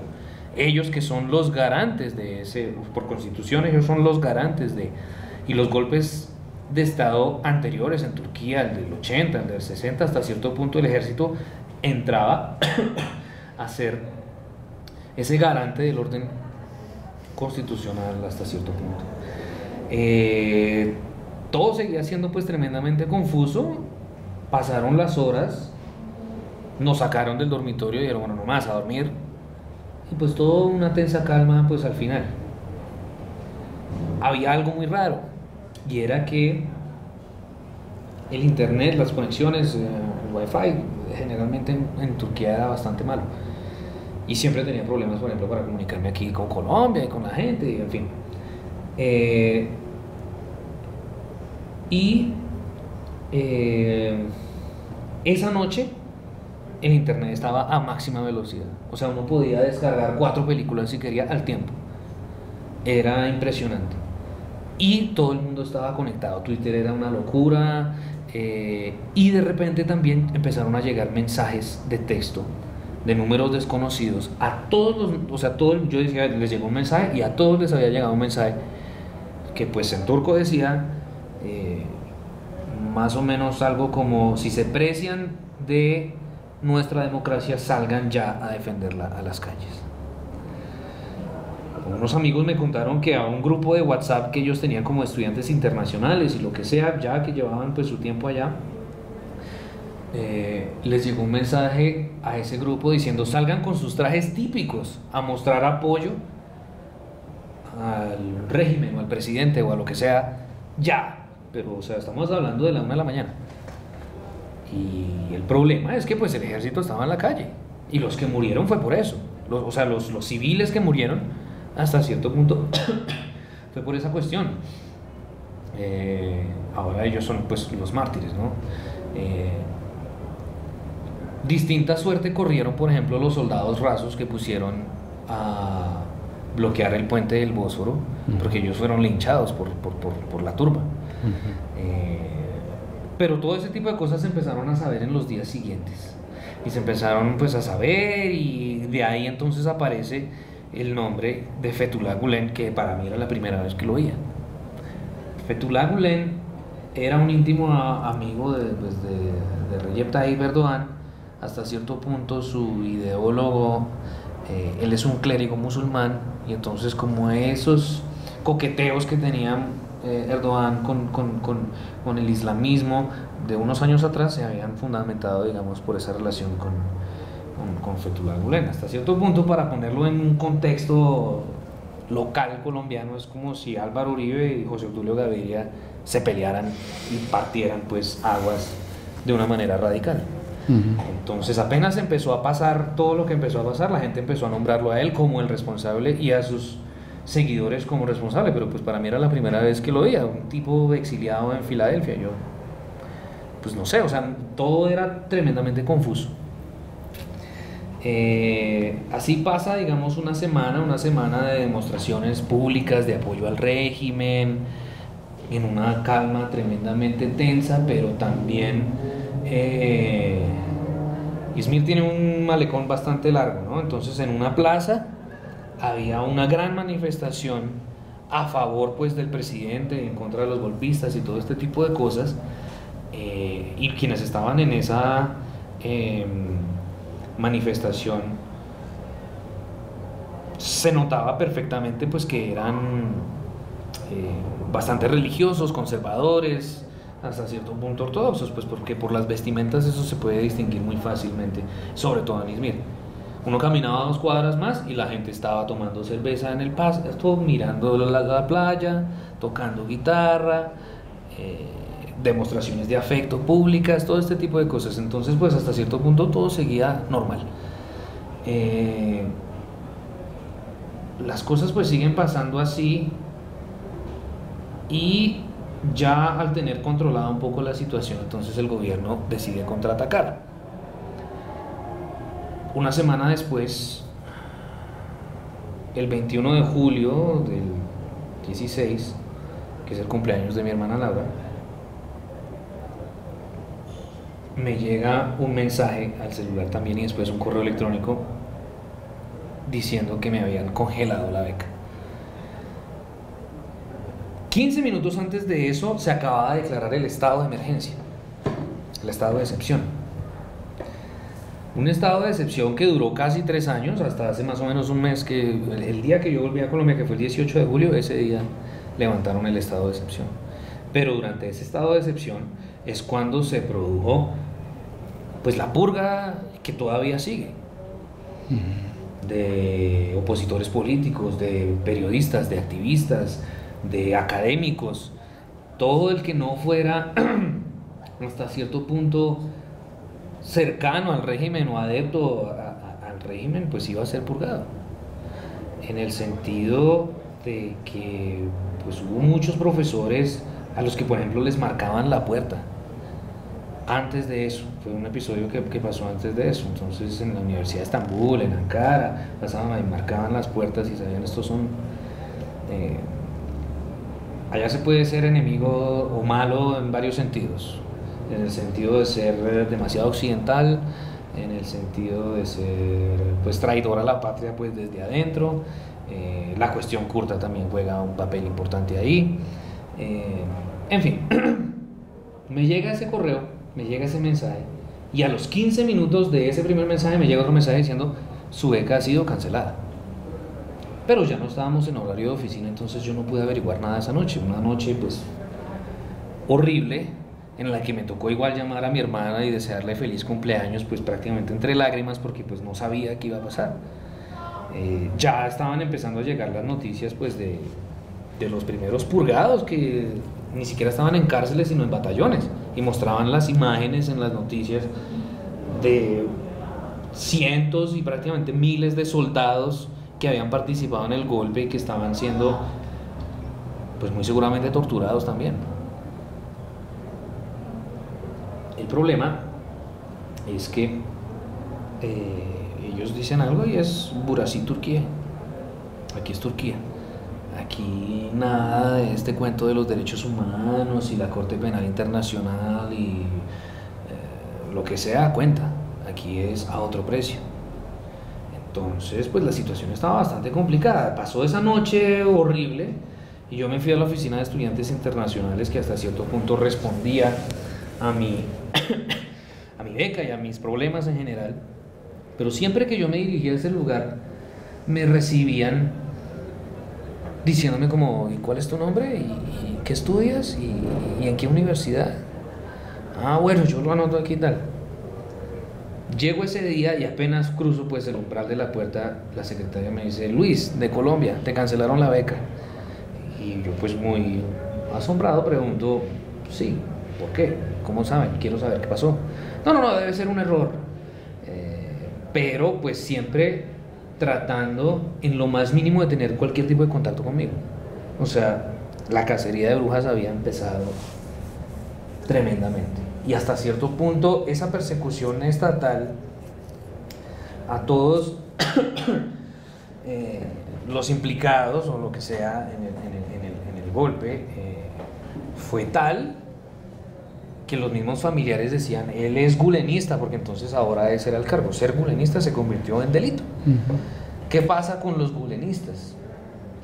Pues según lo que yo aprendí pues en esos días era que eh, el señor Gulen tenía una em, fundación y esa fundación tenía pues muchos miembros y esos miembros estaban en todas las instituciones del Estado, educativas, militares, políticas, administrativas, en fin, eh, al, punto de construir un para-estado dentro del mismo Estado turco.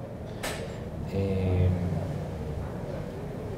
trato pues también de averiguar con mis compañeros colombianos y con mis compañeros en general de la universidad si alguien más tenía ese problema y nadie lo tenía, lo cual lo hacía cada vez pues más extraño. Después vine a enterarme que de los más o menos 50 colombianos que habían en Turquía en ese momento, o pues becados en Turquía, tres se les había cancelado la beca. De esos tres, uno estaba acá, en Colombia, otro estaba pues de vacaciones en Europa porque estábamos en vacaciones, pero el único que estaba en Turquía era yo. Eh, ¿Y por qué? Es decir, finalmente, ¿por qué? ¿Qué pasó? ¿Por qué cancelaron de 50 becas, cancelaron tres? Una de esas la tuya. Y en el sentido también de que, por ejemplo, mis amigos de Pakistán me decían, hay 200 pakistaníes en Izmir becados todos, y a ninguno le pasó nada. Entonces todo lo hacía cada vez más extraño porque yo decía, pero ¿por qué? Entonces llegó el momento de comunicarle a mis padres y a mi familia lo que había pasado, después de haberlo discutido antes igual con ciertos amigos, porque no, ahora me toca decirle pues a mis papás y cómo les digo y no, no sé qué pasa, y pues a mis amigos allá también.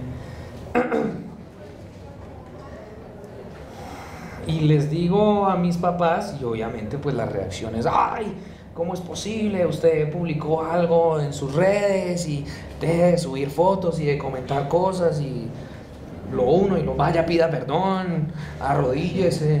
Eh, hasta cierto punto, pues una reacción colombiana a un contexto que no es el nacional, ¿cierto? Hasta cierto punto, pues yo entiendo a mis padres y a mi familia y a mis amigos en el sentido, pues de la manera en que yo hice las cosas y bueno, en fin. Eh, y los entiendo en el sentido en que no los culpo que no entiendan el contexto. O sea, ir y arrodillarme o ir a ancar al Ministerio de Educación o lo que sea era ir a meterme a la boca al lobo. Y yo no me podía permitir eso. Literalmente no lo podía hacer.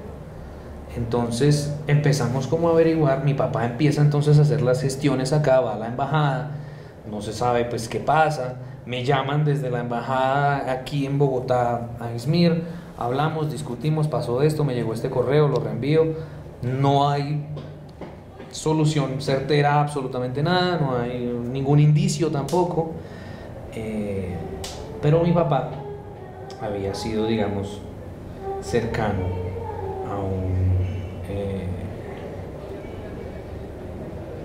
miembro, o sea, un ciudadano turco, pero pues que trabajaba en la embajada como traductor y demás, y él pues había tenido como contactos con él, al punto de que me habían mandado un paquete de cumpleaños con él a Estambul y de Estambul a Izmir. Él, al parecer, ese ciudadano turco, pues hacía parte de, de la organización de Fethullah Gulen. Mm. Y eso, pues, es, o sea, no se necesitaba absolutamente nada más en ese contexto y en ese momento para considerarme pues eh, terrorista, sedicioso, objetivo militar, en fin.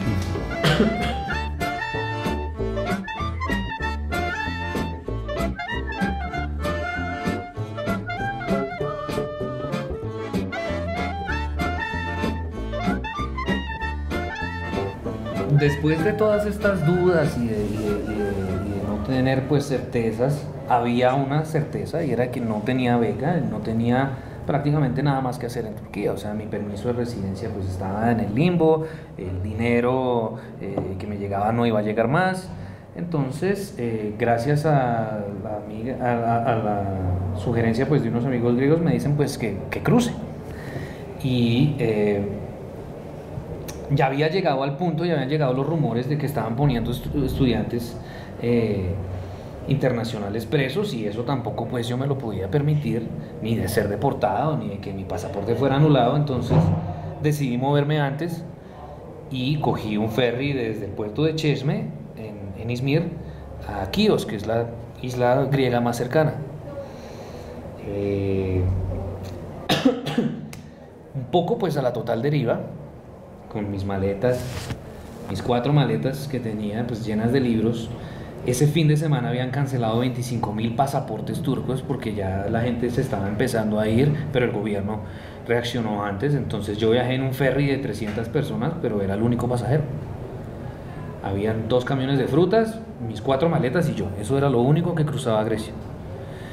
Y pues era una situación tremendamente tensionante porque yo igual para sacar mis maletas del dormitorio y todo tuve que decir como voy para la derecha y cogía para la izquierda.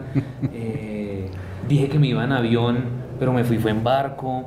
Eh, llegué al puerto y como era el único pasajero en ese momento, igual por ser puesto fronterizo estaba lleno de policía, eh, aunque de todas maneras yo pasé mis maletas normal, yo pasé la aduana normal, tengo mis sellos en el pasaporte de ingreso y de salida. Eh, hasta cierto punto el ser historiador me salvó un poco porque eh, la señorita también me preguntó como, bueno, ¿y qué va a hacer? Y yo, no, no, yo soy historiador y hago esto y lo otro, el mundo clásico, entonces voy para, para, para Grecia a continuar la investigación el resto del verano. Ok, y me puso el sello y me dejó pasar. Pero aún así yo seguía tremendamente Tenso, claro. tensionado porque el barco no arrancaba y aún así cuando arrancó iba tremendamente lento. Yo esperaba en cualquier momento que apareciera una lancha, bájenlo o alguna cosa así. Pero ya cuando se cruza la frontera marítima, pues entre Grecia y Turquía, que uno sabe que la está cruzando porque hay dos fragatas de cada país apuntándose, eh, llego al puerto de Quíos, donde ya pues la gente es igual, la arquitectura es igual, el clima es igual, todo es exactamente igual, pero hay una mentalidad totalmente distinta de las cosas. Entonces, en la misma aduana me empezaron a hacer los típicos chistes que le hacen al colombiano cuando va a viajar, ah, colombiano, ¿qué lleva para declarar? Lo uno, lo otro. Yo no entendía que era un chiste porque ese chiste al otro lado no se podía hacer. Pero pues todos me decían, no, tranquilo, ya, ya está aquí, ya sabemos qué pasó. Era el único también el pasajero que llegaba. Entonces quien me iba a recoger le contó pues a todos los de la aduana, pues que es un puesto igual pequeño. Entonces ya todos sabían que llegaba y quién era. Entonces llegué, estuve unas horas en Quíos, que es pues una isla muy bonita, eh, al punto tal de que en cinco horas fui como a tres exposiciones de arte, en fin.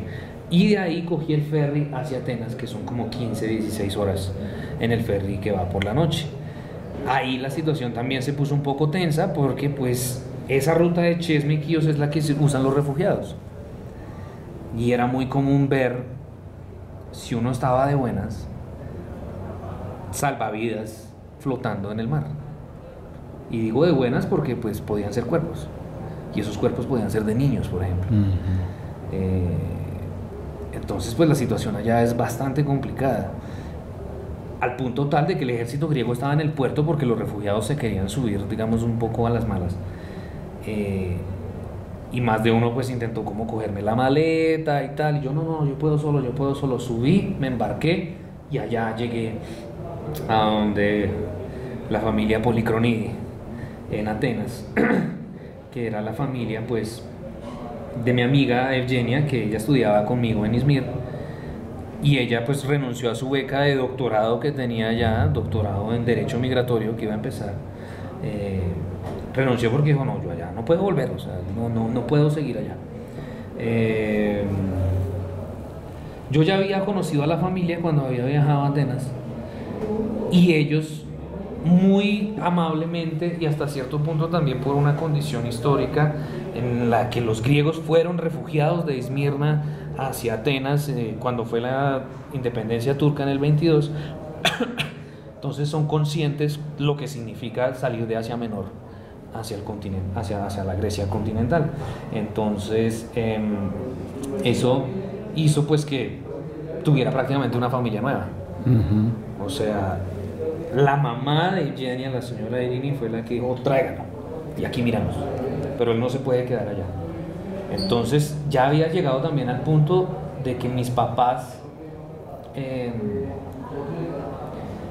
más que ayudar, entorpecían cualquier eh, actividad que yo estuviera haciendo allá, eh, pues al momento de mi salida, y le tuve, les tuve que decir como no me llamen más, porque nos están oyendo, porque yo estaba hackeado, yo estaba eh, pues todo este tipo de cosas y, déjenme yo arreglo y soluciono aquí.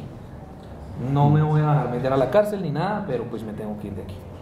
Eh, ya cuando llegué a Atenas, pues se reacomodó todo un poco. Afortunadamente teníamos la, la, la excepción de la visa de Schengen y podía entrar al espacio de la Unión Europea. Eh, ya en Atenas las cosas cambian y pues Grecia es un país maravilloso, tremendo, hermoso. Eh, pues yo allá sí conseguí el verdadero amor que es la Acrópolis. Uh -huh. Entonces tengo agalmatofilia severa. Eh, y, eh, pero aún así entré en una crisis personal, vocacional, profesional tremendamente fuerte, porque pues todo ese, eh, esa curiosidad y eso que me había llevado a estudiar ese, esa parte del mundo, me había dejado sin absolutamente nada y era pues alguien arrumado en una esquina hasta cierto punto. Nunca me lo hicieron sentir así, pero yo me sentía así. Al contrario, fueron tremendamente hospitalarios conmigo, pero yo sí me sentía así. Entonces habían tres opciones en esos primeros tres meses. Me devolvía a Turquía si las cosas mejoraban, pegaba el reversazo a Colombia, porque mis papás me dijeron, le ponemos los tiquetes ya y se viene ya, y se acabó todo. O seguía mi camino en Grecia o en otras partes. Entonces ahí es como aplico a la universidad en Budapest, a la Universidad Central Europea, que ya la había, pues digamos, tenido en cuenta desde mis épocas en Colombia como pues una institución pues interesante. Y eh, también entro a hacer una maestría online en la Universidad Jaume I de España, en la que virtualmente varios profesores que han venido aquí al Departamento de Historia aquí en la Universidad Nacional en Bogotá, como Manuel Chus, Juan Marchena, eh, pues me impartieron clase. Entonces fue ahí descubro, eh, después de solucionar los problemas de residencia y demás, que fueron pues varias triquiñuelas legales que afortunadamente mis amigos que eran abogados allá me ayudaron a solventar. Em, hasta cierto punto dentro de la misma crisis se ven varias oportunidades. Entonces me dieron un permiso temporal, pero un permiso temporal que podía llegar a ser hasta de dos, tres años, porque el sistema migratorio griego está tan colapsado por la crisis de refugiados que lo que los permisos aquí que serían de 15 o de un mes, allá pueden ser de dos o tres años. Entonces, aunque nunca tuve ningún problema con la autoridad ni nada, después de aplicar a la beca en Budapest, a la que apliqué sin decir absolutamente nada del episodio turco, por miedo esencialmente, pero también pues porque no quería que mi aplicación se juzgara en esos términos, sino que fueran pues digamos netamente por mis méritos académicos. Eh, porque también yo ya sentía en ese momento de que, de que, o sea, pues sí, me han pasado un montón de cosas, pero pues que hacen el papel de víctima no tiene ningún sentido. O pues no quiero quedar, digamos, en ese papel de víctima. Entonces aplico ahí, paso, digamos, a la, a la, a la fase de las entrevistas y los profesores de Budapest me dicen, bueno, pero usted es colombiano, pero ¿qué hace en Atenas? Entonces ahí sí tengo que contar toda la historia y demás. Y ahí van a haber eh, problemas posteriormente para eh, la aplicación a la, a la visa eh, de residencia pues húngara, en la que me decían eh, no, pues sí, le damos la visa, pero tiene que eh, diligenciarla en Quito. O en Colombia. En Colombia no hay embajada. Ah. En Colombia no hay embajada, había embajada, pero Pablo Escobar intentó matar al embajador en Budapest, Mm. todavía en la época de la Ah, sí, cortina claro, de hierro, claro. a Parejo González, Ujú. y desde ahí no hay embajada. Al parecer la van a volver a abrir, pero pues bueno. eh, la cuestión con las misiones diplomáticas allá, la embajada de Turquía, la, la embajada de Colombia en Turquía, pues no ayudó prácticamente a nada. En Grecia no hay embajada, entonces pues era la total orfandad eh, en ese sentido. Mm. em, posteriormente em, paso pues a Budapest, termino la maestría en, en- eh, online que hice pues eh, unos días antes de viajar a Budapest. Me despido pues de mi familia adoptiva porque pues es mi segunda mamá, la señora es mi segunda mamá y pues sus hijas son pues mis hermanas prácticamente. Me acogieron como uno más. Yo traté pues de eh, retribuir eso en diversas situaciones personales pues que se dieron eh, en su momento, sobre todo pues eh, con la muerte del padre de Eugenia. Y eh, viajo a Budapest, empiezo pues la maestría en la que ya llevo un año, la maestría que nunca pude hacer en Turquía, ahora la estoy haciendo en Budapest. Y ahí encontré pues, gracias a estas eh, peripecias, un filón historiográfico muy importante. Y es que tuve contacto con la historia contemporánea moderna griega, de la cual nosotros aquí pues no somos muy eh, conocedores.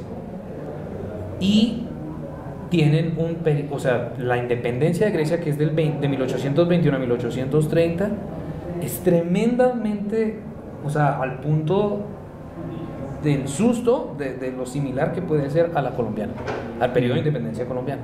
Entonces ahí hay posibilidades comparativas enormes que he tratado de desarrollar desde la maestría eh, pues, eh, eh, en la Jaume primero y ahora en, en, Budapest. Incluso la época rusa, desde la de 1820, 1815, 1820, Pushkin, los decembristas, eh, todo eso está muy relacionado también con acá. Capodistrias es ministro de, de, sí. del zar Alejandro. Sí. Eh, y los comuneros de Grecia, yo pues lo llamo así obviamente para ponerlo en el mm. contexto, es la revuelta de los hermanos Orlov, sí. que eran eh, griegos de Odessa, en el Mar Negro. Uh -huh. Entonces, eh, pues hay demasiadas cosas similares. O sea, Grecia tiene su Nariño, tiene su Patria Boa, tiene su Reconquista con Mehmed Ali, eh, ambos nuevos espacios nacionales que van a surgir uh -huh. se decolonizaron hasta cierto punto de entidades monárquicas complejas que habían tenido su pico en el siglo XVI, XVII, pero que ya para el XIX estaban pues en decadencia. Entonces, pues hay demasiadas cosas, hay, hay, hay, hay muchas cosas para estudiar y eso pues es lo que se está haciendo ahora. ¿A ti te gustaría eh, poner toda esa experiencia en texto? Eh, sí, yo... Eh, la gente generalmente cuando cuento la historia me, me dice eso. Sí me gustaría, eh, hasta cierto punto para, así sean malos recuerdos, porque pues hay cosas traumáticas que pasaron y demás, eh, que deberían ponerse por escrito. Eh, no he encontrado pues digamos el tiempo ahora, pero sí pienso seriamente en hacerlo. Yo igual escribí en un blog que tenía desde mi época de la universidad acá, cuando pues empezamos con lo de las humanidades digitales también un poco con la profesora Estefanía y demás. Yo tenía un blog y ahí escribí pues un texto larguísimo contando más o menos el testimonio y era como eh, hasta cierto punto un, un, testimonio para mi familia y amigos de qué había pasado de, y hasta cierto punto de por qué me desconectaba del mundo también, porque pues hubo un momento en que yo pues me refugié en cierta entropía y no, y no, y no se me yo, perdió el rastro hasta cierto Yo debo, debo reconocer que en, en esta entrevista que, que, le hemos, que le hemos hecho a, a Luis de la Peña, eh, muy interesante, digamos, a, a, su corta edad, pues tiene ya una, una historia de vida eh, que contar. Y lo que quería reconocerle, pues además de agradecerle por, por tener esa deferencia para con nosotros, mañana eh, regresa a, Hungría Luis de la Peña, entonces está, digamos, con ánimos eh, maleteros en, en, este momento y sin embargo, pues nos, ha dedicado aquí unas horas a contarnos esto. Pero lo que te quería reconocer y estimular es que eh, has trabajado la memoria, se nota, digamos, hay un ejercicio de memoria, hay un ejercicio en donde simplemente es como como sentarse a escribir lo que, lo que te hemos escuchado. Digamos que no es que eh, estés ahora construyendo ese recuerdo, sino que es un recuerdo que parece que te ha impactado porque hay bastante elaboración en él. Uh -huh. Entonces, eh, estás invitado a, a, claro a, a, escribir ese texto. Te deseamos que tengas éxito en esta etapa que, en la que estás, ¿no? de la, de la, doctorado en, en historia comparada. Sí, eh, bueno, es, es, maestría. Es, es maestría. Es maestría. Todavía el doctorado no, el doctorado aplicaré este año. Ajá. Entonces, eh, vamos a ver eh, en qué terminan todas estas peripecias, pero pues eh, agradezco mucho la invitación. Eh, espero pues que este testimonio audiovisual, este documento que hemos hecho, pues sea de alguna utilidad para claro. los oyentes y para los televidentes después en el canal de YouTube. Eh, y espero también no demorarme otros tres años para volver a visitar aquí a mis colegas en el departamento. Muy bien, muchas gracias. Bueno, Muy amable. Gracias.